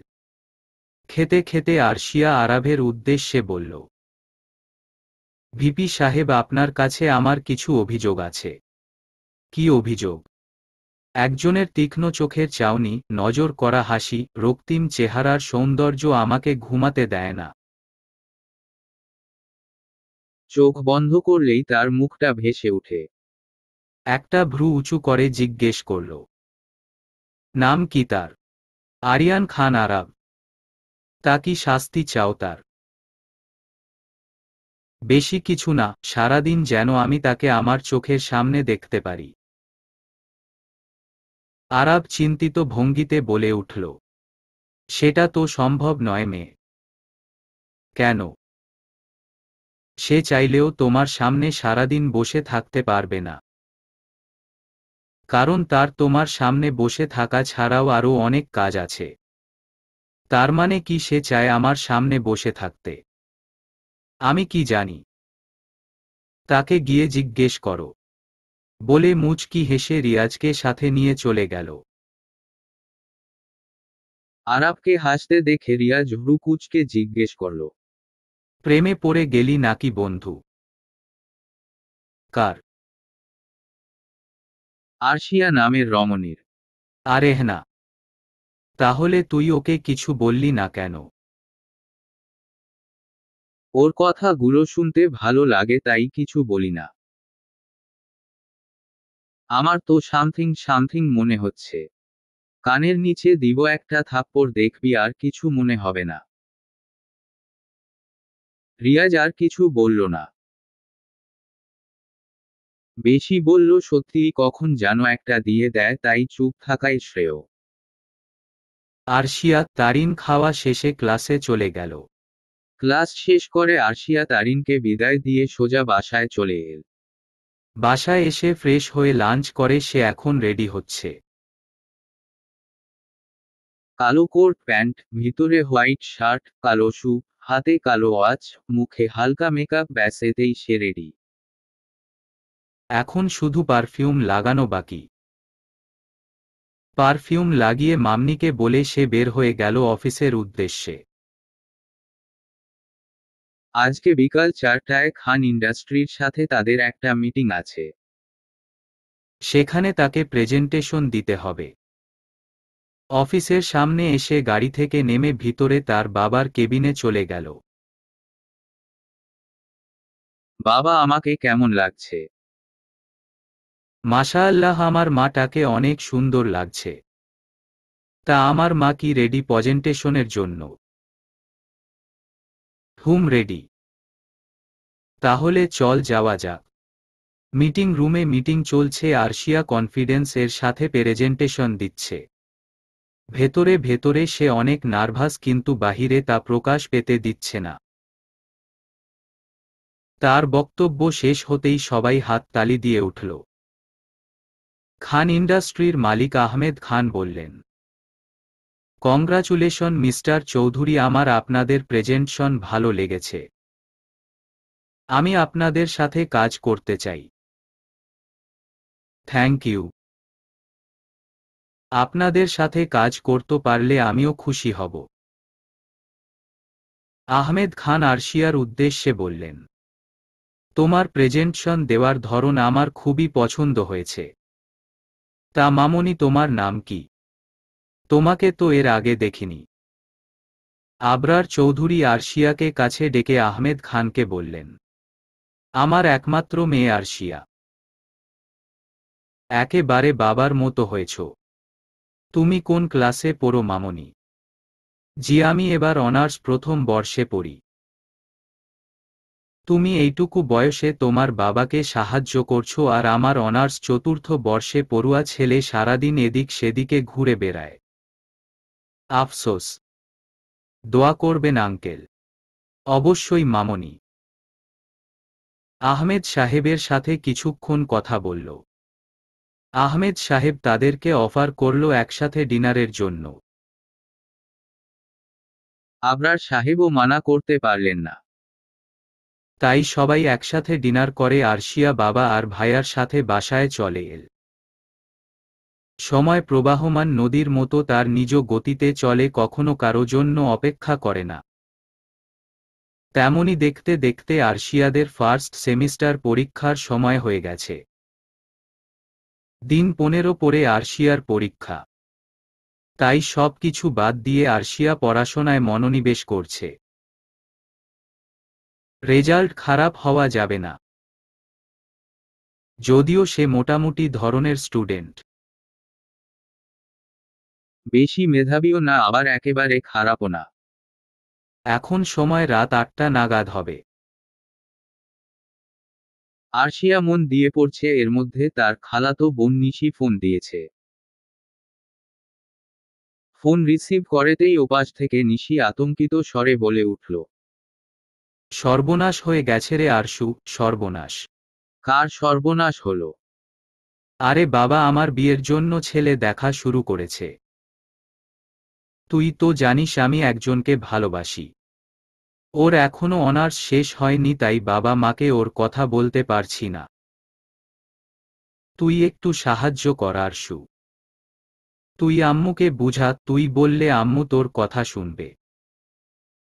তুই বাসায় আয়। আরে দম নেও। আমি কালকে আসব তোমাদের বাসায়। টেনশন করো না, আর ছেলে দেখা শুরু করেছে, বিয়ে তো আর দিয়ে দেয়নি। রিলেক্স আমি কাল এসে খালামনির সাথে কথা বলব। হুম, তুই এসে আম্মুকে বুঝা।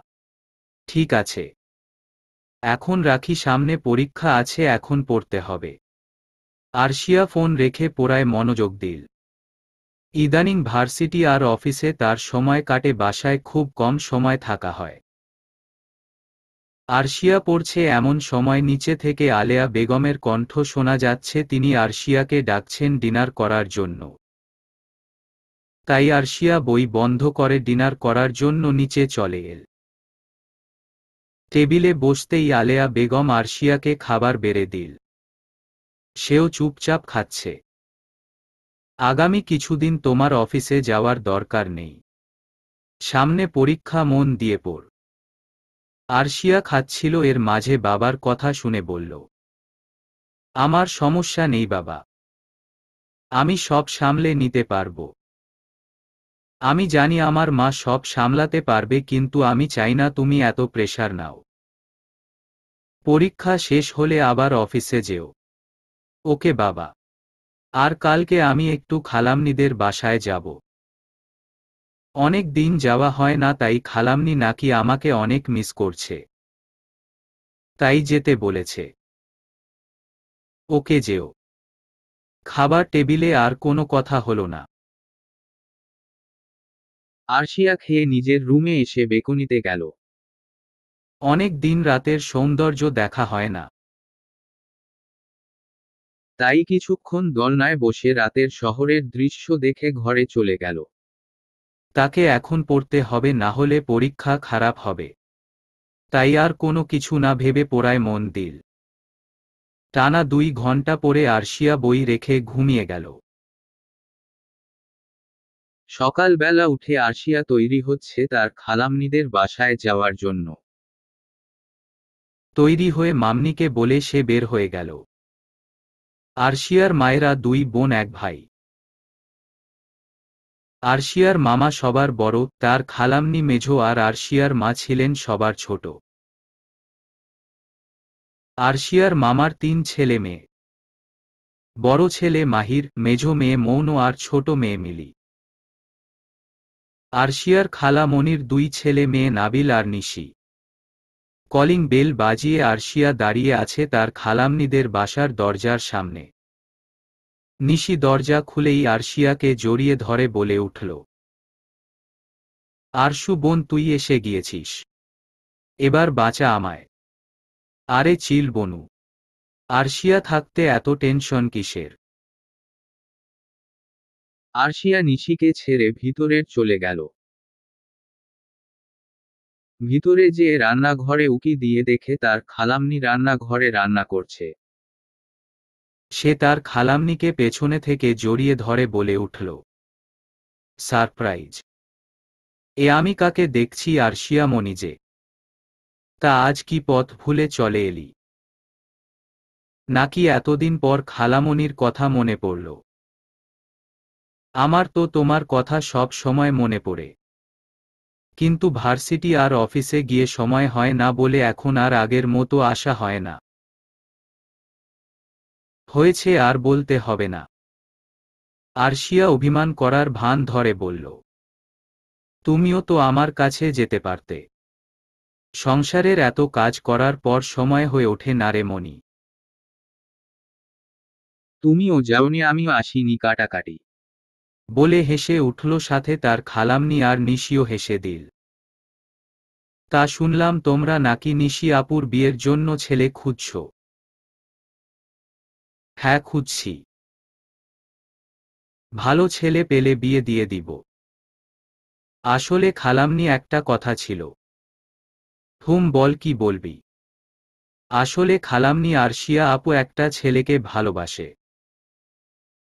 ভাইয়াটা খুবই ভালো। ছেলেটাকে। আর কত দিনের সম্পর্ক ওদের? তুই চিনিস ছেলেটাকে। হুম, আমি চিনি তাকে ভাইয়া আমার ভার্সিটির সিনিয়র। নিশি আপু আর ভাইয়ার সম্পর্ক তিন বছরের। ভাইয়ার এখনও পড়া শেষ হয়নি। পড়া শেষ হলে সে তাদের ফ্যামিলি বিজনেসে জয়েন হবে। বিজনেস জয়েন করেই সে তার ফ্যামিলি নিয়ে তোমাদের সাথে কথা বলবে। তুমি একটু খালুকে বুঝাও সে যেন নিশি আপুর জন্য অন্য কোথাও ছেলে না দেখে। ঠিক আছে আমি তোর খালুকে বোঝাবো। ওর ওপর আমার ভরসা না থাকলেও তোর ওপর আছে তুই যেহেতু বলছিস ছেলে ভালো তার মানে ভালো। আর ছেলেকে আমাদের সাথে দেখা করিয়ে দিস। হুম খুব তাড়াতাড়ি দেখা করব। এখন বল দুপুরে কি খাবি? বিরিয়ানি। ঠিক আছে তুই নিশির সাথে গল্প কর আমি তোর জন্য বিরিয়ানি রান্না করছি। আরশিয়ার হাত ধরে এক দৌড়ে নিশি তার রুমে নিয়ে এল। জড়িয়ে ধরে বলে উঠল থ্যাংক ইউ আরশু। তোকে আমি কি বলে যে ধন্যবাদ দিব সেটা বুঝতে পারছি না। লাভ ইউ হয়েছে হয়েছে আর ভালোবাসা দেখাতে হবে না। আরশিয়া আর নিশি মিলে কিছুক্ষণ গল্প করল। তারপর দুপুরের খাবার খেয়ে আরশিয়া বাড়িতে চলে এল। আরশিয়ার খালামনি অনেক রিকোয়েস্ট করেছিলেন ওকে থাকার জন্য। কিন্তু ও থাকেনি বলেছে পরীক্ষা শেষ হলে যে থাকবে। বাড়িতে এসে আরশিয়া কিছুক্ষণ বিশ্রাম নিয়ে পড়তে বসে গেল। দেখতে দেখতে আরশিয়ার পরীক্ষা শুরু হয়ে গেছে। আরশিয়া খুব মনোযোগী ছাত্রীদের মতো পড়াশোনা করছে এবং পরীক্ষাগুলো ভালোই দিচ্ছে। পরীক্ষা প্রায় শেষের দিকে আর মাত্র দুটা পরীক্ষা বাকি। আরশিয়া পরীক্ষার মধ্যে আরবকে তেমন জ্বালায়নি। জ্বালায়নি বলতে একেবারে জ্বালায়নি তেমন না। এই তো কিছুদিন আগে আরশিয়া পরীক্ষা দিয়ে বের হয়ে আরবকে অনেক খুঁজল কিন্তু পেল না। তাই মন খারাপ করে বাসায় চলে গেল। বাসায় যেয়ে মামনি রুষা ওদের সাথে কিছুক্ষণ গল্প করে আরুষের সাথে খেলা করল তাও তার মনে শান্তি মিলছে না। আরশিয়া ঘরে গিয়ে অনেকক্ষণ পায়চারি করল নিজেকে শান্ত করার জন্য। নিজেই নিজের মনকে বুঝালো, আজকে দেখা হয়নি তো কি হয়েছে, কালকে দেখা হবে। কিন্তু মন বুঝলে তো, তার মন বলছে এখন যে করেই হোক আরবকে দেখতে হবে। নিজের মনের শান্তির জন্য হলেও আরবকে তার এই মুহূর্তে চাই চাই মানে চাই। তাই আর বেশি কিছু না ভেবে নিচে গিয়ে ড্রিভারের কাছ থেকে চাবি নিয়ে একা একাই বেরিয়ে গেল। রাস্তায় যেতে যেতে রিয়াজকে ফোন করে জেনে নিল আরব তার বাসায় আছে।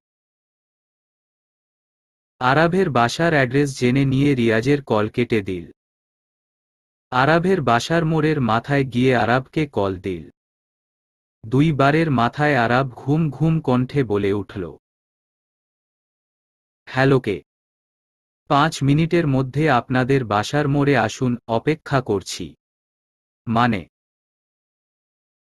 মানে টানে কিছু জানি না। পাঁচ মিনিট আছে আপনার হাতে। হয় পাঁচ মিনিটের মধ্যে আপনি আসবেন, না হয় আমি আপনার বাসায় আসব। আরব ফোন কানে নিয়ে বসে আছে ওপর পাশ থেকে আরশিয়া ফোন কেটে দিয়েছে। বেচারা কাল সারা রাত জেগে পড়েছিল। তাই পরীক্ষা দিয়ে তাড়াতাড়ি বাসায় এসে ঘুমিয়ে পড়েছিল। ফোনের শব্দ পেয়ে ফোন রিসিভ করে এমন কিছু শুনতে পাবে তা মোটেও ভাবেনি। থ হয়ে বসে রইল কিছুক্ষণ তারপর যখন আরশিয়ার কথা মাথায় এল তাড়াহুড় করে ফ্রেশ হতে গেল। কিন্তু আরশিয়া তার বাড়ির অ্যাড্রেস কথায় পেল ভাবতে ভাবতে ফ্রেশ হয়ে নিচে নেমে বাহিরের দিকে হাঁটা দিল। আরশিয়াকে দিয়ে ভরসা নেই এই মেয়ে বাসায় চলে আসতে পারে। রাস্তায় এসে দেখল আরশিয়া গাড়ির সাথে হেলান দিয়ে দাঁড়িয়ে আছে। মনে হচ্ছে পরীক্ষা দিয়ে বাসায় যেয়ে ফ্রেশ না হয়েই এখানে চলে এসেছে। আরাব আরশিয়ার কাছে যাওয়ার সাথে সাথে আরশিয়া তাকে শক্ত করে জড়িয়ে ধরল। আরাব হতবাক কি হল বুঝে উঠতে তার কিছু সময় লাগল। কিছু বলার জন্য মুখ খুলবে তার আগে আরশিয়া বলে উঠল, তাড়াতাড়ি গাড়িতে উঠে বসুন। আরাবের কি হলো কি জানি সে আরশিয়ার কথা অনুযায়ী ড্রাইভিং সিটের পাশের সিটে বসে পড়ল। আরশিয়াও গিয়ে ড্রাইভিং সিটে গিয়ে বসে গাড়ি স্টার্ট দিল। নির্জন একটা নদীর পাশে ঘাসের ওপর আরশিয়া আর আরাব বসে আছে। এখানে মানুষের আনাগোনা খুবই কম। সেই সময় আরশিয়া এই নদীর পাশের রাস্তায় গাড়ি থামিয়ে আরাভের হাত ধরে এখানে নিয়ে এসে ঘাসের ওপর বসিয়ে সেও বসে পড়েছে। সেই যে বসেছে দশ মিনিট হয়ে গেছে। না নিজে কিছু বলছে আর না আরাবকে কিছু বলতে দিচ্ছে। আরাব কিছু বলতে নিলেই ইশারা চুপ করতে বলছে। একধানে আরাবের দিকে তাকিয়ে আছে। চোখের পলকও খুব বেশি ফেলছে না, মনে হচ্ছে কতদিন পরে দেখছে। আরাব এবার নীরবতা ভেঙে বলে উঠল, দেখা শেষ। আপনাকে দেখার এক আকাশ সম ইচ্ছা আমার সারা জীবন দেখলেও শেষ হবে না। হঠাৎ এত জরুরি তলব কেন? আপনি আজকে পরীক্ষা দিয়ে বের হয়ে এত তাড়াতাড়ি বাসায় এসেছেন কেন? আপনি কি জানেন যে কেউ একজন আছে যার আপনাকে না দেখলে মনে শান্তি লাগে না? জানলে তাকে দেখা দেওয়ার জন্য হলেও আমি কোনো বাহানায় তার আশেপাশে থেকে যেতাম। তা সেই একজনটাকে। আমি। কি সহজ সরল স্বীকারোক্তি। আরাব ভাবতেও পারেনি আরশিয়া এত সহজে স্বীকার করে নিবে। আরাব ভেবেছিল আরশিয়া হয়তো কথা ঘুরাবে বা অন্য কিছু বলবে। এখন উঠো। তোমাকে দেখে মনে হচ্ছে তুমি বাসায় গিয়ে ফ্রেশ না হয়েই চলে এসেছ। বাসায় যাও। আরেকটু থাকি না। কোনো বাহানা না। চুপচাপ বাসায় যেয়ে খেয়ে ঘুম দাও। ওকে চলুন আপনাকে বাসায় নামিয়ে দিয়ে আমি বাসায় যাব। আরাব গাড়িতে উঠে বসতেই আরশিয়া ড্রাইভিং সিটে বসে গাড়ি স্টার্ট দিল। গাড়িতে কেউ কারও সাথে কথা বলেনি। আরশিয়া কয়েকবার আর চোখে আরাভের দিকে তাকিয়েছিল। আরাভের বাড়ির সামনে গাড়ি থামাতেই আরাব নেমে গেল। সাবধানে যাবে। আর আমার কথা মতো বাসায় যেয়ে খেয়ে ঘুম দিবে। আরশিয়া মাথা নেড়ে হ্যাঁ বুঝাল যে সে আরাবের কথা শুনবে। আরাব ইশারায় আরশিয়াকে গাড়ি ঘুরিয়ে বাসায় যেতে বলল। আরশিয়াও ভদ্র মেয়ের মতো বাড়ি চলে এল। বাড়িতে ঢুকতেই মামনির প্রশ্নের সম্মুখীন হতে হলে। কোথায় গিয়েছিলি? একটা কাজ ছিল। তাড়াতাড়ি ফ্রেশ হয়ে খেতে আয়, বেলা তো কম হলো না। আসছি, বলে আরশিয়া নিজের রুমে চলে গেল। ফ্রেশ হয়ে এসে খেয়ে আরশিয়া ঘুমিয়ে গেল। আজকে আরশিয়াদের শেষ পরীক্ষা, তাই সে আর তারিন মিলে প্ল্যান করেছে আজকে পরীক্ষা শেষে দুই বান্ধবী ঘোরাঘুরি করবে। আরশিয়া আর তারিন পরীক্ষা দিয়ে বের হয়ে মাঠে আসতেই দেখা হয় আরাভ আর রিয়াজের সাথে। রিয়াজ আরশিয়াকে দেখে হেসে জিজ্ঞেস করল, কেমন আছো ছোট আপু? আলহামদুলিল্লাহ ভালো, আপনি? আমিও আলহামদুলিল্লাহ ভালো আছি। তা পরীক্ষা কেমন হল? আলহামদুলিল্লাহ ভালো। আপনাদের পরীক্ষা কেমন হয়েছে? আমাদেরও ভালো হয়েছে। আরশিয়া আরাভের দিকে তাকিয়ে জিজ্ঞেস করলে আপনার পরীক্ষা কেমন হয়েছে? আলহামদুলিল্লাহ ভালো। আজকে তো শেষ পরীক্ষা, কোথাও ঘুরতে যাবে নাকি? হুম আমি আর তারিন ঘুরতে যাব। এর মাঝে রিয়াজ বলে উঠল, তা আমাদের নিবে না। আপনারা যেতে চাইলে অবশ্যই নিব। তাহলে চল আজকে আমরা চারজন মিলে ঘুরতে যাই। পরীক্ষার চক্করে অনেক দিন ঘোরাঘুরি হয় না। আরশিয়া, আরাব, তারিন, রিয়াজ মিলে কিছুক্ষণ ঘোরাঘুরি করে হাঁপিয়ে গিয়েছে। ঘুরতে ঘুরতে সবারই ক্ষুধা পেয়েছে, তাই সবাই একসাথে লাঞ্চ করে আরও কিছুক্ষণ ঘুরে যার যার বাসায় চলে আসে। ভার্সিটি অডিটোরিমে বসন্ত উৎসবের আয়োজন চলছে। একটু আগে আরশিয়াদের ক্লাসে গিয়ে সিনিয়ররা বলে এসেছে যারা গান বা নাচে নাম দিতে ইচ্ছুক তারা যেন অডিটোরিমে এসে সিনিয়রদের সাথে যোগাযোগ করে। এটা শোনার পর থেকে তারিন আরশিয়ার কানের পাশে ঘ্যান ঘ্যান করছে যেন আরশিয়া নাচে নাম দেয়। আরশিয়া বারবার তাকে বলছে সে নাম দিবে না তাও তারিন শুনছে না। রীতিমতো তাকে ব্ল্যাকমেল করছে। আমি তো তোর কেউ না। আমার কথা কেন শুনবি? দেখ দোস্ত, আমি অনেক দিন নাচের অনুশীলন করি না। আমি পারব না, প্লিজ জোর করিস না। আমি জানি তুই পারবি। আমি তোর নাম দিয়ে আসছি, এরপর তুই কি করবি আমি জানি না। তারিন আরশিয়ার কথা না শুনে সিনিয়রদের কাছে নাম দিতে চলে গেল। কিছুক্ষণ পর আরশিয়ার কাছে এসে বসে পড়ল। আরশিয়ার নাম ডাকতেই তারিন তাকে খোঁচাচ্ছে যাওয়ার জন্য। আরশিয়াও আর কোনো উপায় না পেয়ে উঠে গেল। তাকে বসন্ত এসে গেছে, গানটিতে নাচার জন্য বলা হয়েছে। গানটি বক্সে চালানো হয়েছে, আরশিয়াও তার সাথে তাল মেলাচ্ছে। আরাভের আজ অনেক কাজ ভিপি বলে কথা। সে অডিটোরিমে এসেছিল কিছু কাজের জন্য। এখানে এসে সে পুরো অবাক এই মেয়ে নাচতেও পারে। সে যেন আরশিয়ার নাচ দেখে কিছুক্ষণের জন্য মুগ্ধ হয়ে গিয়েছিল। পাশ থেকে রিয়াজ তাকে ধাক্কা দিতেই সে তার চেতনাতে ফিরল। আরশিয়ার নাচ শেষ, সবার তার নাচ অনেক পছন্দ হয়েছে। তাই ঠিক করা হলো আরশিয়া বসন্ত উৎসবে এই গানেই নাচ পরিবেশন করবে।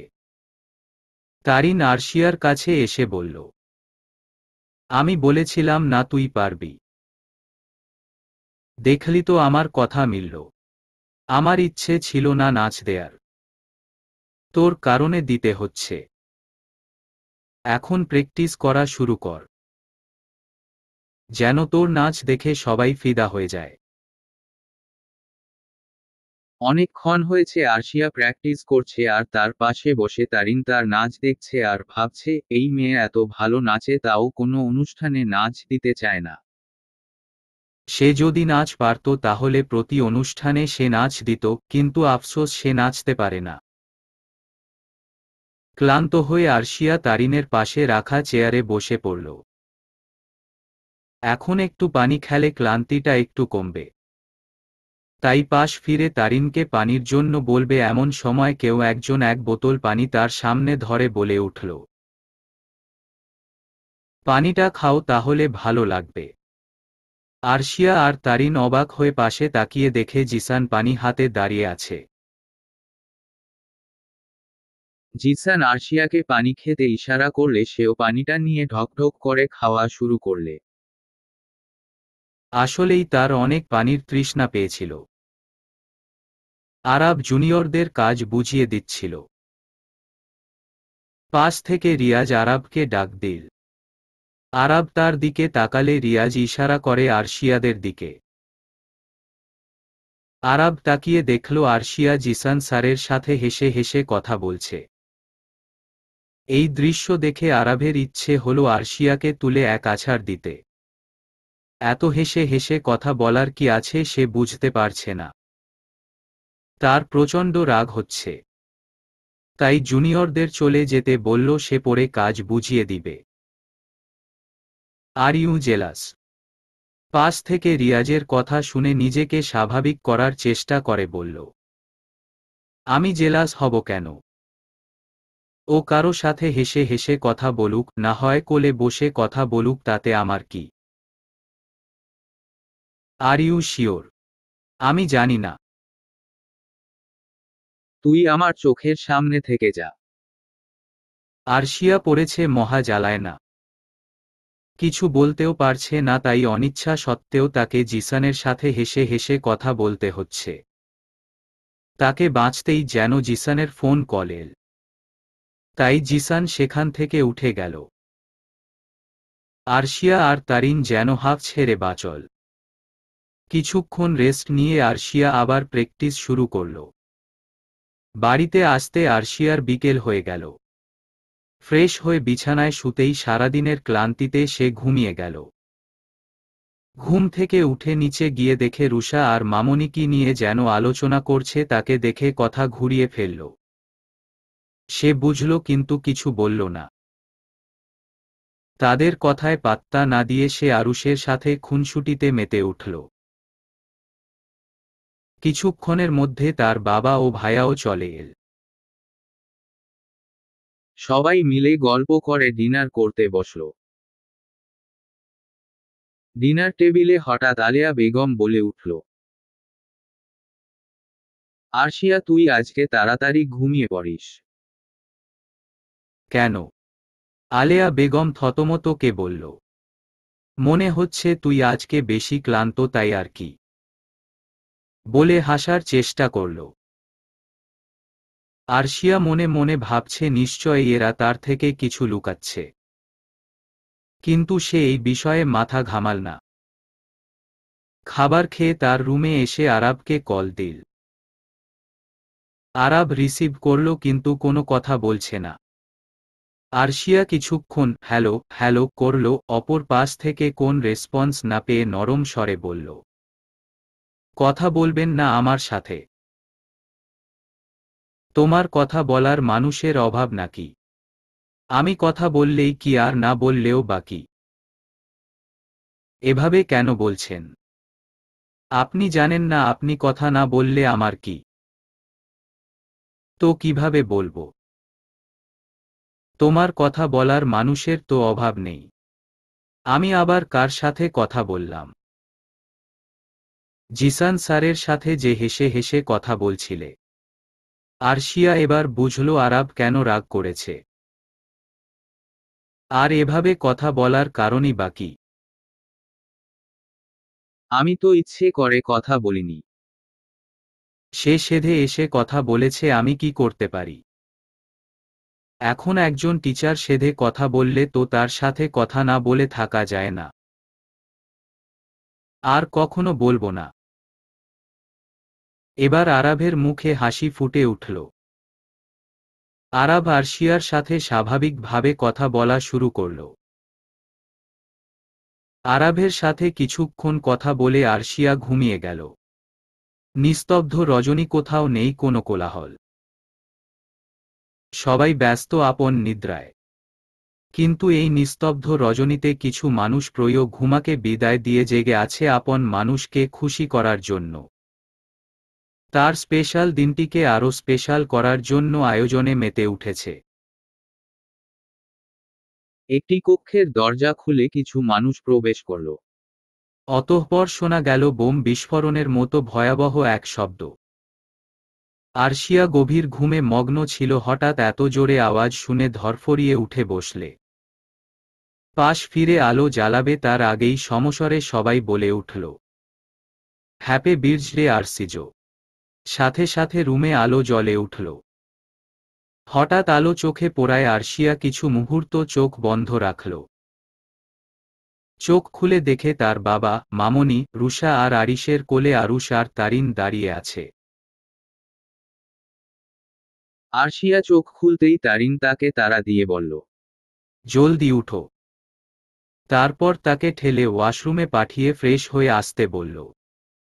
সবাইকে ছাদে যে ডেকোরেশন ঠিক আছে কিনা দেখতে বলল, সে আরশিয়াকে নিয়ে আসছে। আরশিয়া বের হয়ে তারিনকে জিজ্ঞেস করল, তুই এত্রাতে? তাও আমার বাড়িতে অবিশ্বাস্য। আমার বেস্ট ফ্রেন্ডের জন্মদিন আর আমি তাকে সবার আগে উইশ করব না, সেটা কি কখনো হয়? তাই আম্মুকে রাজি করিয়ে চলে এসেছি। তুই জানিস আমাকে কে আনতে গিয়েছিল। কে? আমার বিবাহিত ক্রাশমি। আরিশ। আমি মামনিকে ফোন করে বললাম, মামুনি, আম্মু তো আমাকে একা এত রাতে আসতে দিবে না। প্লিজ তুমি কিছু করো। মামুনি আমাকে বলল, ঠিক আছে, আমি আরিশকে পাঠাচ্ছি। তারপর আর কি আমার ক্রাশ যে আমাকে নিয়ে এসেছে। আর এতক্ষণ আমরা সবাই মিলে ছাদে ডেকোরেশন করছিলাম। কথা বলতে বলতে ওরা ছাদে চলে এসেছে। আরশিয়া ছাদের দিকে তাকিয়ে দেখে ছাদটা অনেক সুন্দর করে সাজানো হয়েছে। একপাশে টেবিলে একটা বড় কেক রাখা। সে নিশ্চত এই কেকটা তার মামনি তার জন্য বানিয়েছে কারণ প্রতি বছর আরশিয়ার জন্মদিনের সেলিব্রেশন শুরু হয় তার মামনির হাতের কেক কেটে। আরশিয়াকে নিয়ে তারিন কেকের সামনে গেল। আরশিয়া কেক কেটে সবার প্রথম তার বাবাকে খাইয়ে দিল, তার বাবাও তাকে খাইয়ে তাকে বুকে জড়িয়ে জন্মদিনের শুভেচ্ছা জানাল। এরপর আরশিয়া তার মামনিকে কেক খাইয়ে দিল, সেও আরশিয়াকে জড়িয়ে ধরে কপালে চুমু খেয়ে দোয়া করল। পরপর সবাইকে কেক খাওয়ানোর পর সবাই মিলে আরশিয়াকে তার জন্মদিনের উপহার দিল। আরশিয়ার বাবা তাকে জানালো কালকে তার জন্মদিন উপলক্ষে তার বাবা একটা পার্টি অ্যারেঞ্জ করবে।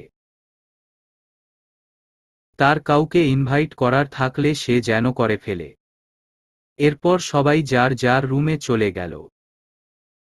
তারিন আরশিয়ার সাথে তার রুমে এসে বিছানায় শুয়ে আরশিয়াকে জিজ্ঞেস করল, কাকে কাকে ইনভাইট করবি? আরাব আর রিয়াজ ভাইয়াকে। এছাড়া সবাইকে তো বাবাই ইনভাইট করবে। এখন ঘুমা কালকে তাড়াতাড়ি উঠতে হবে। আরশিয়া আর তারিন ঘুমিয়ে গেল। সকালে ঘুম থেকে ওঠে ফ্রেশ হয়ে আরশিয়া ফোন হাতে নিল আরাভ আর রিয়াজকে ফোন দেয়ার জন্য। ফোন অন করতেই সামনে অপরিচিত নাম্বার থেকে আসা বার্তা ভেসে উঠল। শুভ জন্মদিনের শুভেচ্ছা সেই নারীকে, আমি ভালোবাসি যাকে। আরশিয়া কিছুক্ষণ মেসেজটার দিকে তাকিয়ে ভাবল, অপরিচিত নাম্বার টাকার কে হতে পারে এই নাম্বারে মালিক? যে হবে হোক, তাতে আরশিয়ার কি? সে ফোন করে আরাভ আর রিয়াজকে ইনভাইট করল। নিচ থেকে খাবার খাবার খাওয়ার জন্য আলেয়া বেগম ডাক দিতেই সে তারিনকে নিয়ে খেতে গেল। নিচে যেয়ে দেখে তাদের ড্রয়িং রুমে ডেকোরেশন চলছে পার্টির জন্য। বেলা বাড়তেই বাড়িতে তার খালামনির ও মামার পরিবার চলে এল। আরশিয়া তার কাজিনদের সাথে আড্ডা দিতে ব্যস্ত।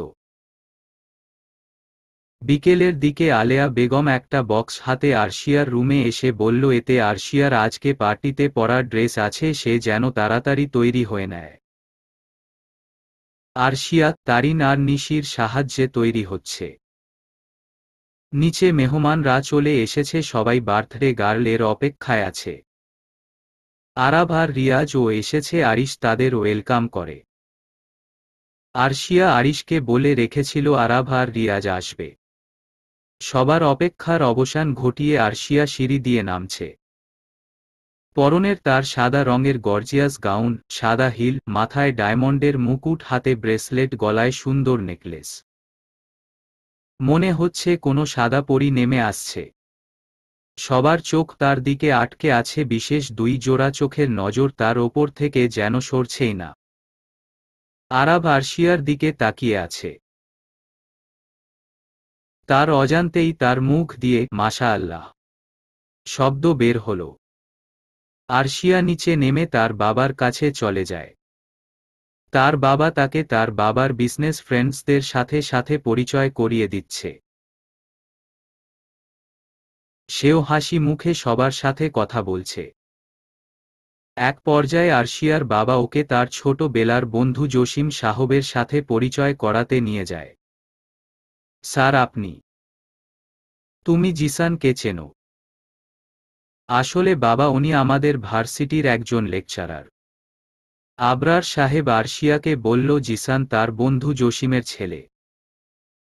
তাদের সাথে কথা বলে আরশিয়া তার বাবাকে নিয়ে গেল আরাভার রিয়াজের সাথে পরিচয় করাতে।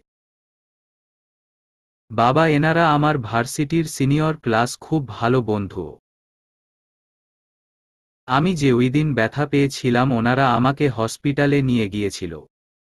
আরশিয়ার বাবা আরাব আর রিয়াজের সাথে হ্যান্ডশেক করে বলে উঠল। Thank you young man enjoy the party তোমাদের সাথে পরে আবার কথা হবে। আরশিয়ার বাবা চলে গেল। আরাব আর রিয়াজের সাথে আরশিয়া কথা বলছে। এমন সময় আরশিয়া রিয়াজের কানে ফিসফিস করে বলল আপনার জন্য সারপ্রাইজ আছে ভাইয়া। বলে আরশিয়া চলে গেল আর এইদিকে রিয়াজ ভাবছে তাকে আবার আরশিয়া কি সারপ্রাইজ দিবে। আরশিয়াকে ডাকা হচ্ছে কেক কাটার জন্য। আরশিয়া কেক কাটবে এমন সময় একটা ডাকে সবাই সদর দরজার দিকে তাকাল। একটি ছেলে সদর দরজার সামনে থেকে উক্ত কথাটি বলে উঠল। সবাই উৎসুক হয়েছে আছে দরজার দিকে।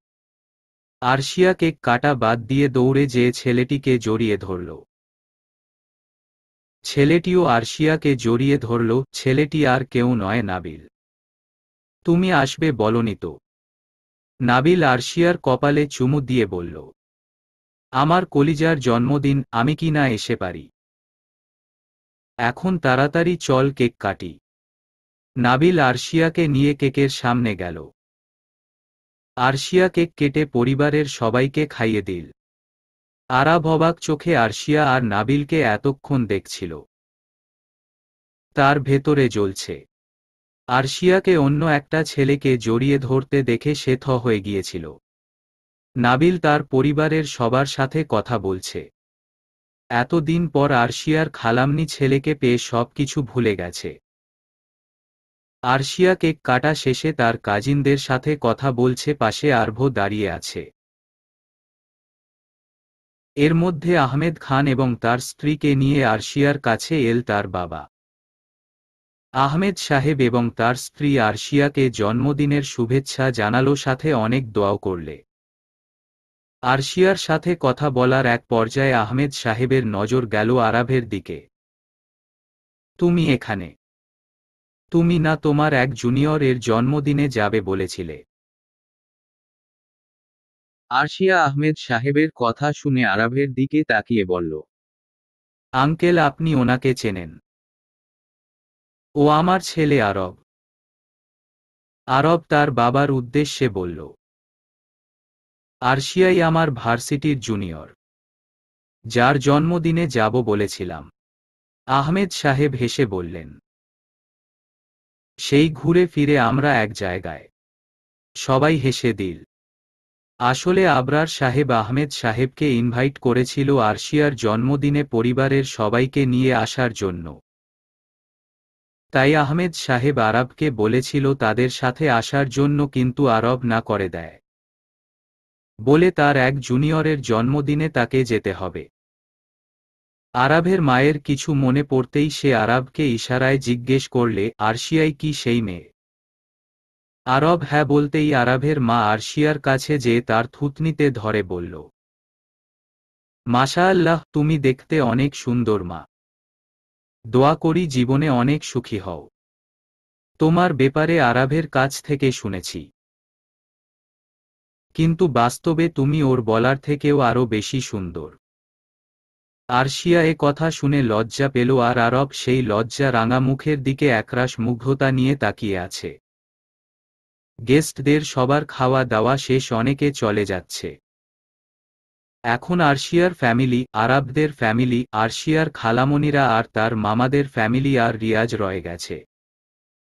রিয়াজ হঠাৎ খেয়াল করল আরশিয়ার কাজিনদের মধ্যে একজনকে যাকে কিনা তার গার্লফ্রেন্ড নিশির মতো মনে হয়। আরশিয়া রিয়াজকে তার খালামনিদের সামনে নিয়ে বলে। খালামনি এই সেই ছেলে যাকে নিশি আপু ভালোবাসে। রিয়াজ যেন বেক্কেল হয়ে গেল। সে একটা ঘোরের মধ্যে আছে। আরশিয়া হঠাৎ এমন কিছু করবে সে ভাবেনি। আরশিয়ার খালামনি রিয়াজকে দেখে বলল মাশা আল্লাহ ছেলে তো সুন্দর আছে। তা বাবা তুমি কি সত্যিই নিশিকে ভালোবাসো, তাকে বিয়ে করতে চাও? রিয়াজ ঘোরের মধ্যে থেকেই জবাব দিল, সত্যিই সে নিশিকে ভালোবাসে এবং তাকে বিয়ে করতে চায়। নিশির মা তার বাবার দিকে তাকালো, তার বাবার সম্মতি পেয়ে রিয়াজকে বললেন, আমাদের তোমাকে পছন্দ হয়েছে। আমাদের তোমাদের সম্পর্ক নিয়ে সমস্যা নেই। আমরা চাই তুমি তোমার পরিবারের সাথে কথা বল। তারা রাজি থাকলে তাদের নিয়ে আমাদের বাড়িতে এসো। রিয়াজ মাথা নেড়ে সম্মতি দিল। তারা সবাই একসাথে খেতে বসেছে, খাওয়ার এক পর্যায়ে আবরার সাহেব বললেন, আহমেদ সাহেব, এখন তো অনেক রাত হয়ে গেছে, আজকে রাতটা আপনারা আমাদের বাড়িতে থেকে যান। আহমেদ সাহেব প্রথমে অমত করলেও পরবর্তীতে আবরার সাহেবের কথায় রাজি হলেন। বড়রা সবাই নিচে গল্প করছে আর ছোটরা সবাই ফ্রেশ হয়ে ছাদে চলে এসেছে গল্প করার জন্য। আরব ছাদের এক পাশে দাঁড়িয়ে আছে আর শিয়া গিয়ে তার পাশে দাঁড়াল। এতক্ষণে তোমার আমার কথা মনে পড়ল। সরি, আসলে এত মানুষের মধ্যে আপনার সাথে কথা বলতে পারিনি। আমার তো মনে হয়েছিল তুমি ভুলেই গিয়েছ যে আরব নামের কোনো ব্যক্তি তোমার আশেপাশে ছিল। সরি বললাম তো। যাও এবারের মতো তোমার সরি গ্রহণ করলাম। তা ওই সময় যেই ছেলেটাকে তুমি জড়িয়ে ধরেছিলে সেকে। আমার খালামনির ছেলে নাবিল। বলতে পারেন আমার ভাই কম বন্ধু বেশি। কীভাবে? যখন আমার আম্মু মারা যায় তখন আমি খুব নীরব হয়ে যাই, কারও সাথে ঠিক মতো কথা বলতাম না। ওই সময় ভাইয়া সব সময় আমার সাথে থাকত, আমার মন খারাপ হলে হাসাত, আমাকে ঘুরতে নিয়ে যেত আরও অনেক কিছু করত। বাসার সবাই আমাকে কোনো কাজে বাধা দিলেও আমাকে বাধা দিত না, উল্টো আমাকে সেই কাজ করতে সাহায্য করত। এক কথায় বলতে পারেন, সে আমার আপন ভাই না হলেও আপন ভাইয়ের চেয়ে বেশি। আরব এবার বুঝল আরশিয়া কেন ছেলেটিকে জড়িয়ে ধরেছিল। আরশিয়া গাল ফুলিয়ে আরবের দিকে চেয়ে বলল, আমার গিফট কোথায়? আরশিয়ার এভাবে গাল ফুলানো দেখে আরব হেসে ফেলল। পকেট থেকে একটা লকেট বের করে আরশিয়ার পিছনে গিয়ে তার গলায় পরিয়ে দিল। পছন্দ হয়েছে। অনেক বেশি। এর মধ্যেই রিয়াজ আর নিশি এল তাদের কাছে। রিয়াজ আরশিয়ার উদ্দেশ্যে বললে, তুমি তো আমায় ভয় পাইয়ে দিয়েছ আরশিয়া। এমন সারপ্রাইজ আমাকে কেউ দেয়নি। হঠাৎ করে যে তুমি আমাকে নিশির বাবা মায়ের সামনে দাঁড়া করাবে আমি তা ভাবতেই পারিনি। তো কেমন লাগল সারপ্রাইজ? ভয়ঙ্কর। তুমি যে নিশির কাজিন সেটা আগে বলনি কেন? আগে বললে আপনি এই ভয়টা পেতেন নাকি? তাও কথা। নিশি আরশিয়াকে জড়িয়ে ধরে ধন্যবাদ জানালো সাথে রিয়াজও। আরব বলল, তোরা ওকে ধন্যবাদ জানাচ্ছিস কেন? নিশি আরভাকে বলল, আরশিয়া কীভাবে তার বাবা মাকে বুঝিয়েছে? আরব মনে মনে বলল, এই মেয়ে বিচ্ছু আছে। আরশিয়া রিয়াজের দিকে তাকিয়ে বলল, শুকনো কথায় চিরে ভিজবে না হবু জিজু। তোমার কি চাই বল। ট্রিট চাই আমার। ওকে ডান। নাবিল সবে মাত্র ওপরে এসেছে। সামনে তাকিয়ে তার মনে হলো কয়েকটা হার্টবিট মিস হয়ে গেল। তারিন একপাশে দাঁড়িয়ে আছে, তার খুলে রাখা চুল হাওয়ায় দোল খাচ্ছে। নাবিল যেন সেই দোল খাওয়া চুলের ভাজে নিজেকে হারিয়ে ফেলল। তারিনের দিকে এগোবে এমন সময় নিশি তাকে ডাক দিল। তাই সেও চলে গেল ওই দিকে। আরশিয়া নাবিলকে দেখে বলে উঠল, তুমি যে আসবা আমাকে বলনি কেন? শোনো পাগলির কথা, আমি যদি বলেই দিতাম তাহলে কি সেটা সারপ্রাইজ হতো?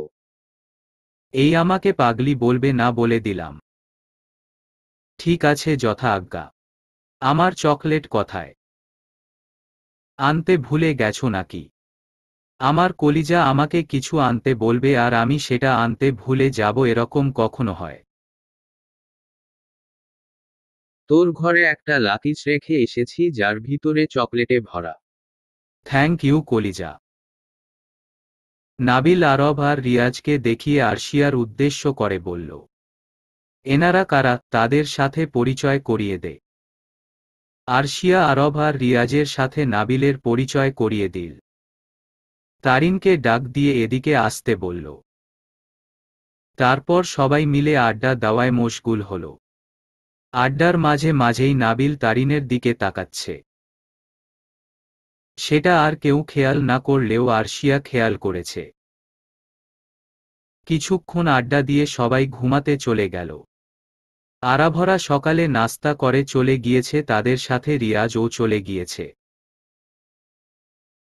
তাদের যাওয়ার কিছুক্ষণ পর তারিনকে ফোন করে তার মা বাসায় যেতে বলায় সেও চলে গেল।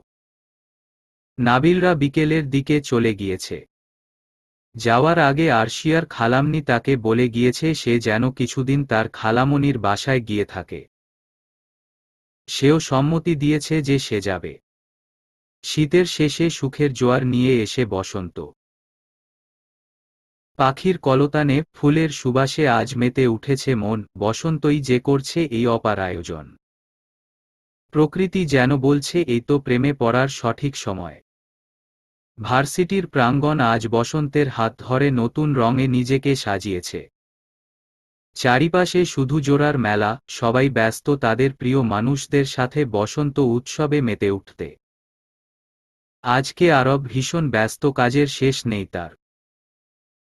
কোথাকার আয়োজন, কত কুটু হয়েছে, সব তাকে পর্যবেক্ষণ করতে হচ্ছে।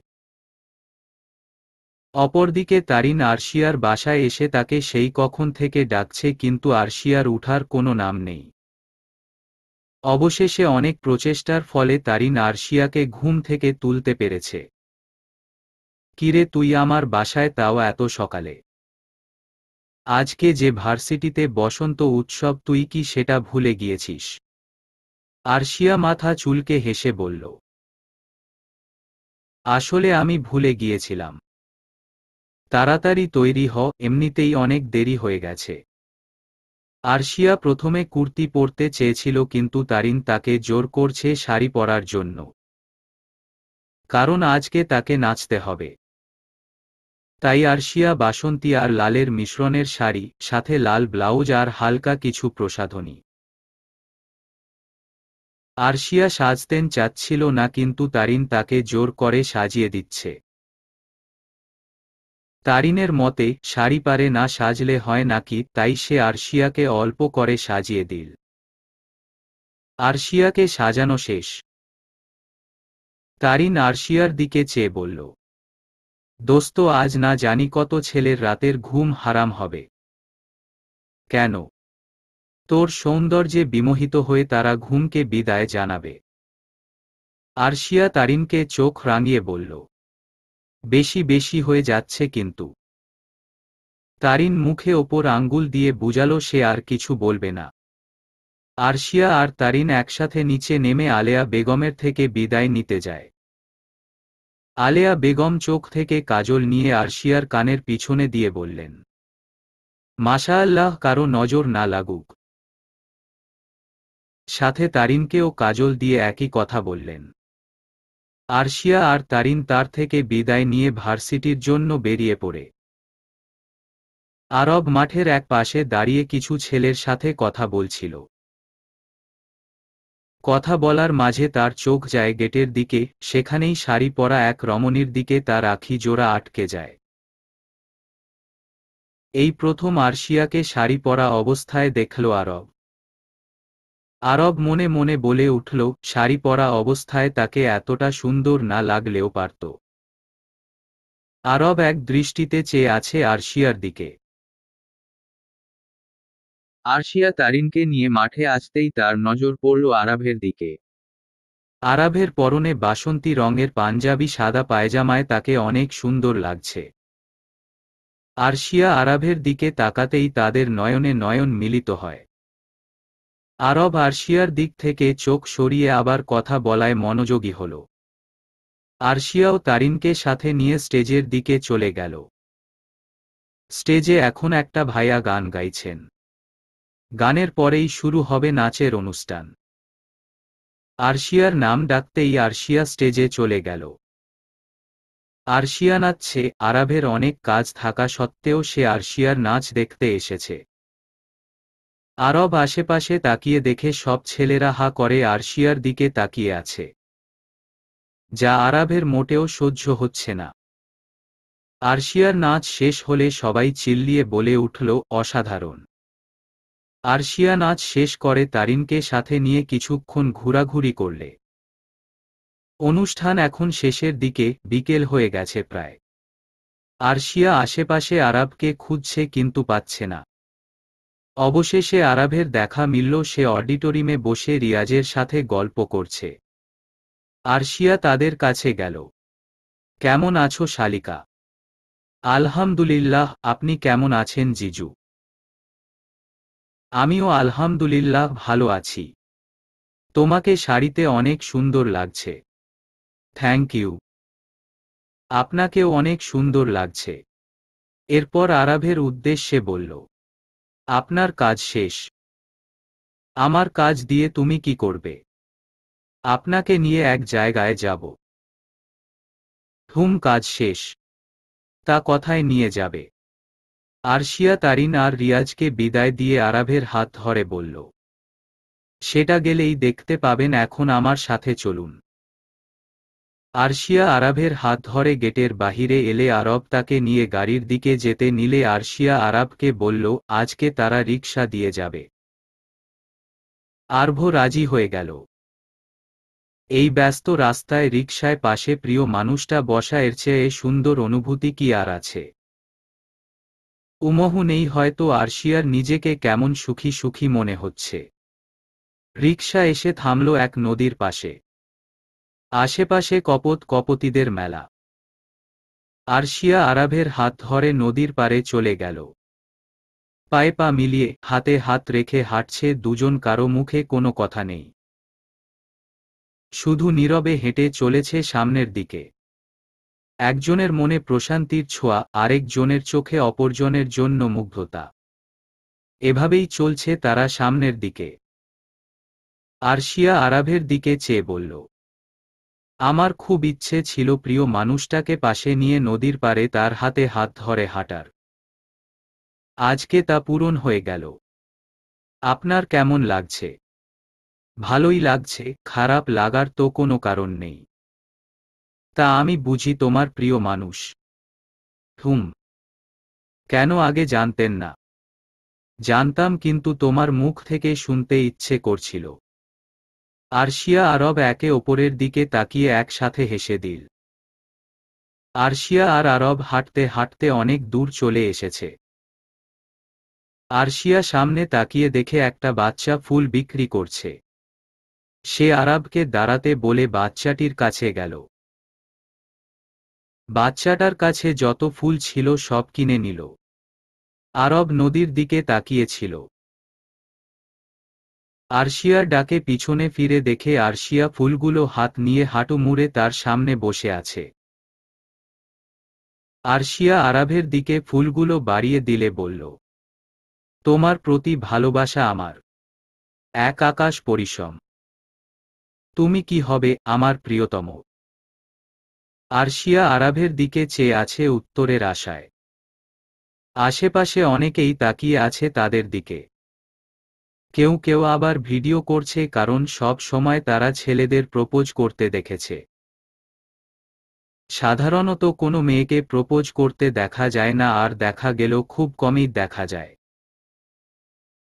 আরব মুচকি হেসে হাত বাড়িয়ে ফুলগুলো নিল। অতঃপর আরশিয়ার হাত ধরে তাকে উঠাল।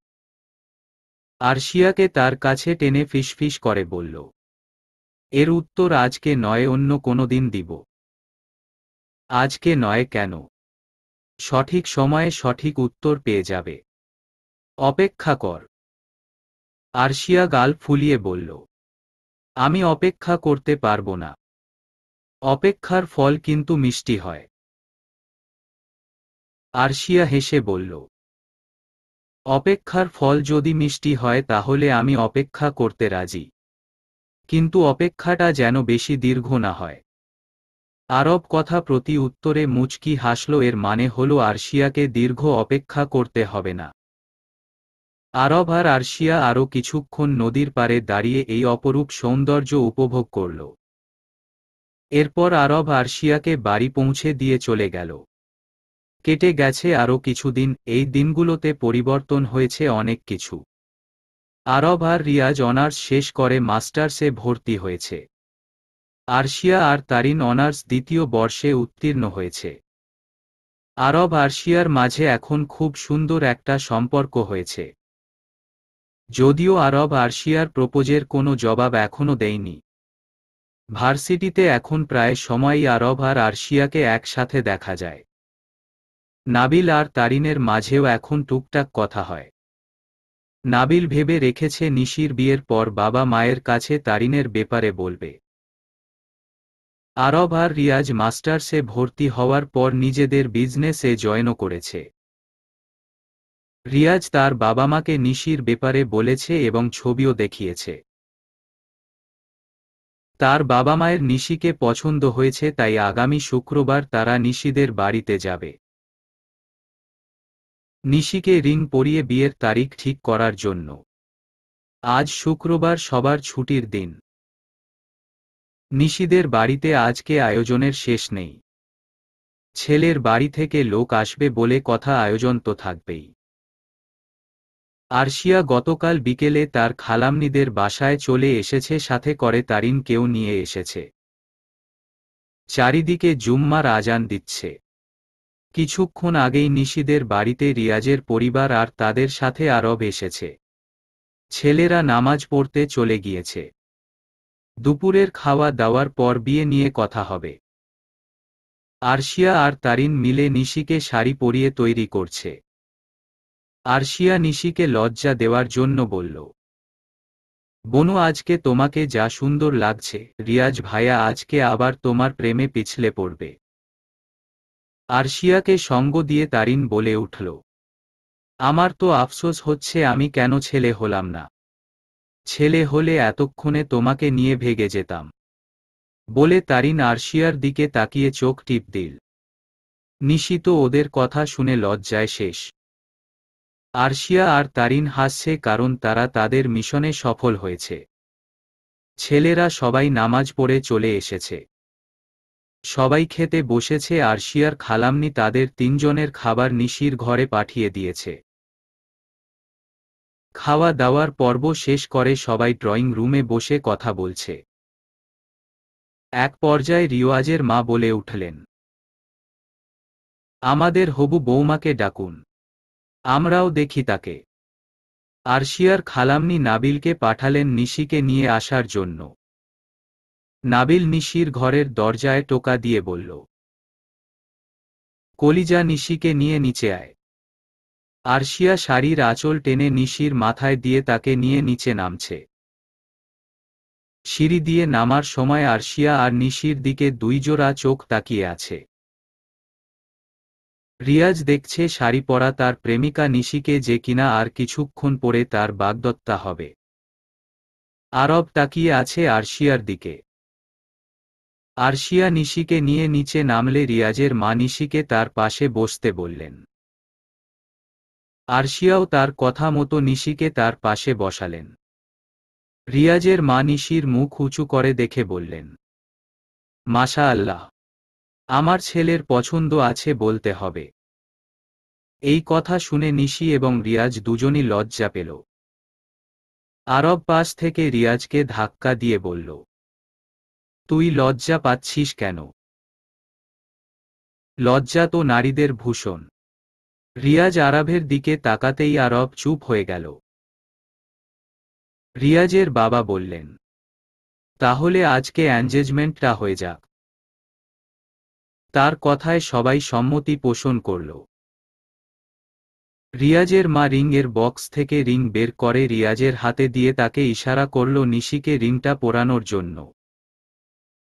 রিয়াজ নিশির হাত তার হাতে নিতেই বুঝতে পারল নিশির হাত কাঁপছে। রিয়াজ নিশিকে রিং পরানোর শেষে নিশির আম্মু তাকে রিং দিল রিয়াজকে পরানোর জন্য। নিশি কাপা কাপা হাতে রিয়াজকে রিং পরিয়ে দিল। রিং পরানো শেষে নিশির আম্মু আরশিয়াকে বললেন, নিশি আর রিয়াজকে নিয়ে ছাদে যেতে। এখানে তারা বড়রা বড়রা বিয়ের ব্যাপারে কথা বলবেন। এতে তাদের ছোটদের থাকার কোনো প্রয়োজন নেই। আরশিয়া নিশিকে নিয়ে ছাদের দিকে হাঁটা দিল তাদের পিছনে পিছন রিয়াজ আর আরব আসছে।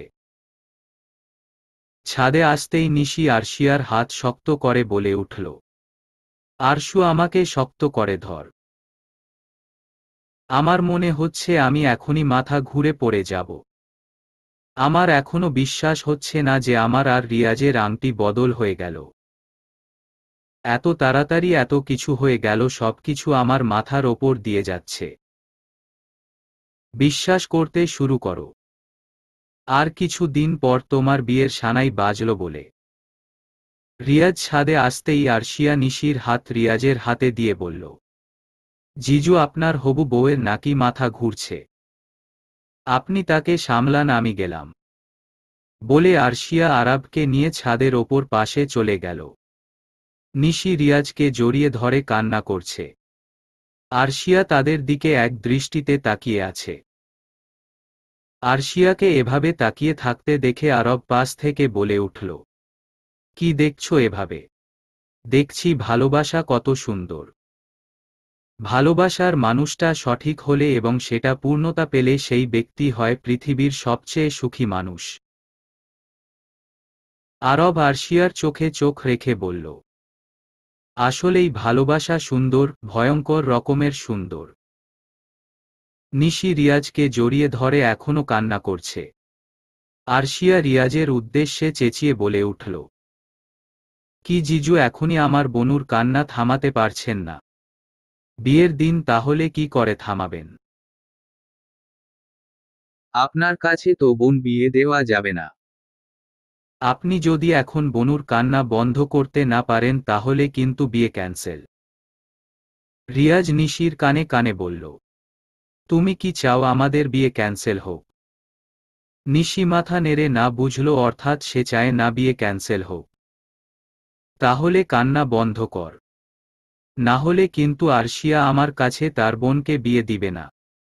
একথা শুনে নিশি কান্না বন্ধ করে আরশিয়াকে বলল দেখ আরশু আমি কিন্তু এখন আর কান্না করছি না। প্লিজ তুই বিয়েটা ভাঙিস না। আরশিয়া নিশির অবস্থা দেখে মনে মনে হাসল, কিন্তু মুখে বলল, ঠিক আছে, এবারের মতো বিয়ে ভাঙব না। কিন্তু তুমি যদি আবার কান্না করো, তাহলে কিন্তু আমার কিছুই করার থাকবে না। আরশিয়া আর আরব একপাশে দাঁড়িয়ে কথা বলছে আর রিয়াজ আর নিশি অন্য পাশে দাঁড়িয়ে কথা বলছে। তারিন ছাদে এসে দেখে এরা জোড়ায় জোড়ায় গল্প করছে। এখানে দেখি সবাই জোড়ায় জোড়ায়। আমি শুধু জোড়া ছাড়া। পিছন থেকে নাবিল বলে উঠল, তুমিও জোড়া বাঁধো। বাধা দিচ্ছে কে? আমি জোড়া বানানোর জন্য এখানে ছেলে কোথায় পাব? কেন তোমার কি আমাকে চোখে পড়ছে না? তুমি চাইলে আমি তোমার সাথে জোড়া বাঁধতেই পারি। আমার দরকার নেই আপনার সাথে জোড়া বাঁধার। তাহলে থাকো সিঙ্গেল, আমার কি? তোমার সুবিধার জন্যই আমি তোমাকে আমার সাথে জুটি বাঁধার অফার দিয়েছিলাম। এখন তুমি না চাইলে আর কি করার? তারিন আরশিয়া আর আরবদের কাছে চলে গেল। নিশি আর রিয়াজকে একা ছেড়ে দিল তাদের মতো করে। তারা গল্প করছে এমন সময় নিশিদের বাড়ির কাজের লোক এসে বলে গেল তাদের সবাইকে নিচে যাওয়ার জন্য ডেকেছে। তারা সবাই নিচে নেমে জানতে পারলে দুই সপ্তাহ পরে রিয়াজ আর নিশির বিয়ের দিন ধার্য করা হয়েছে। আরও কিছুক্ষণ সবাই বিয়ে নিয়ে কথা বলল। কথা শেষে রিয়াজদের পরিবার চলে গেল। আরশিয়াকে তার খালামনি রেখে দিয়েছে। বলেছে, নিশির বিয়ের আগ পর্যন্ত সে এখানেই থাকবে, আরশিয়ার বাবার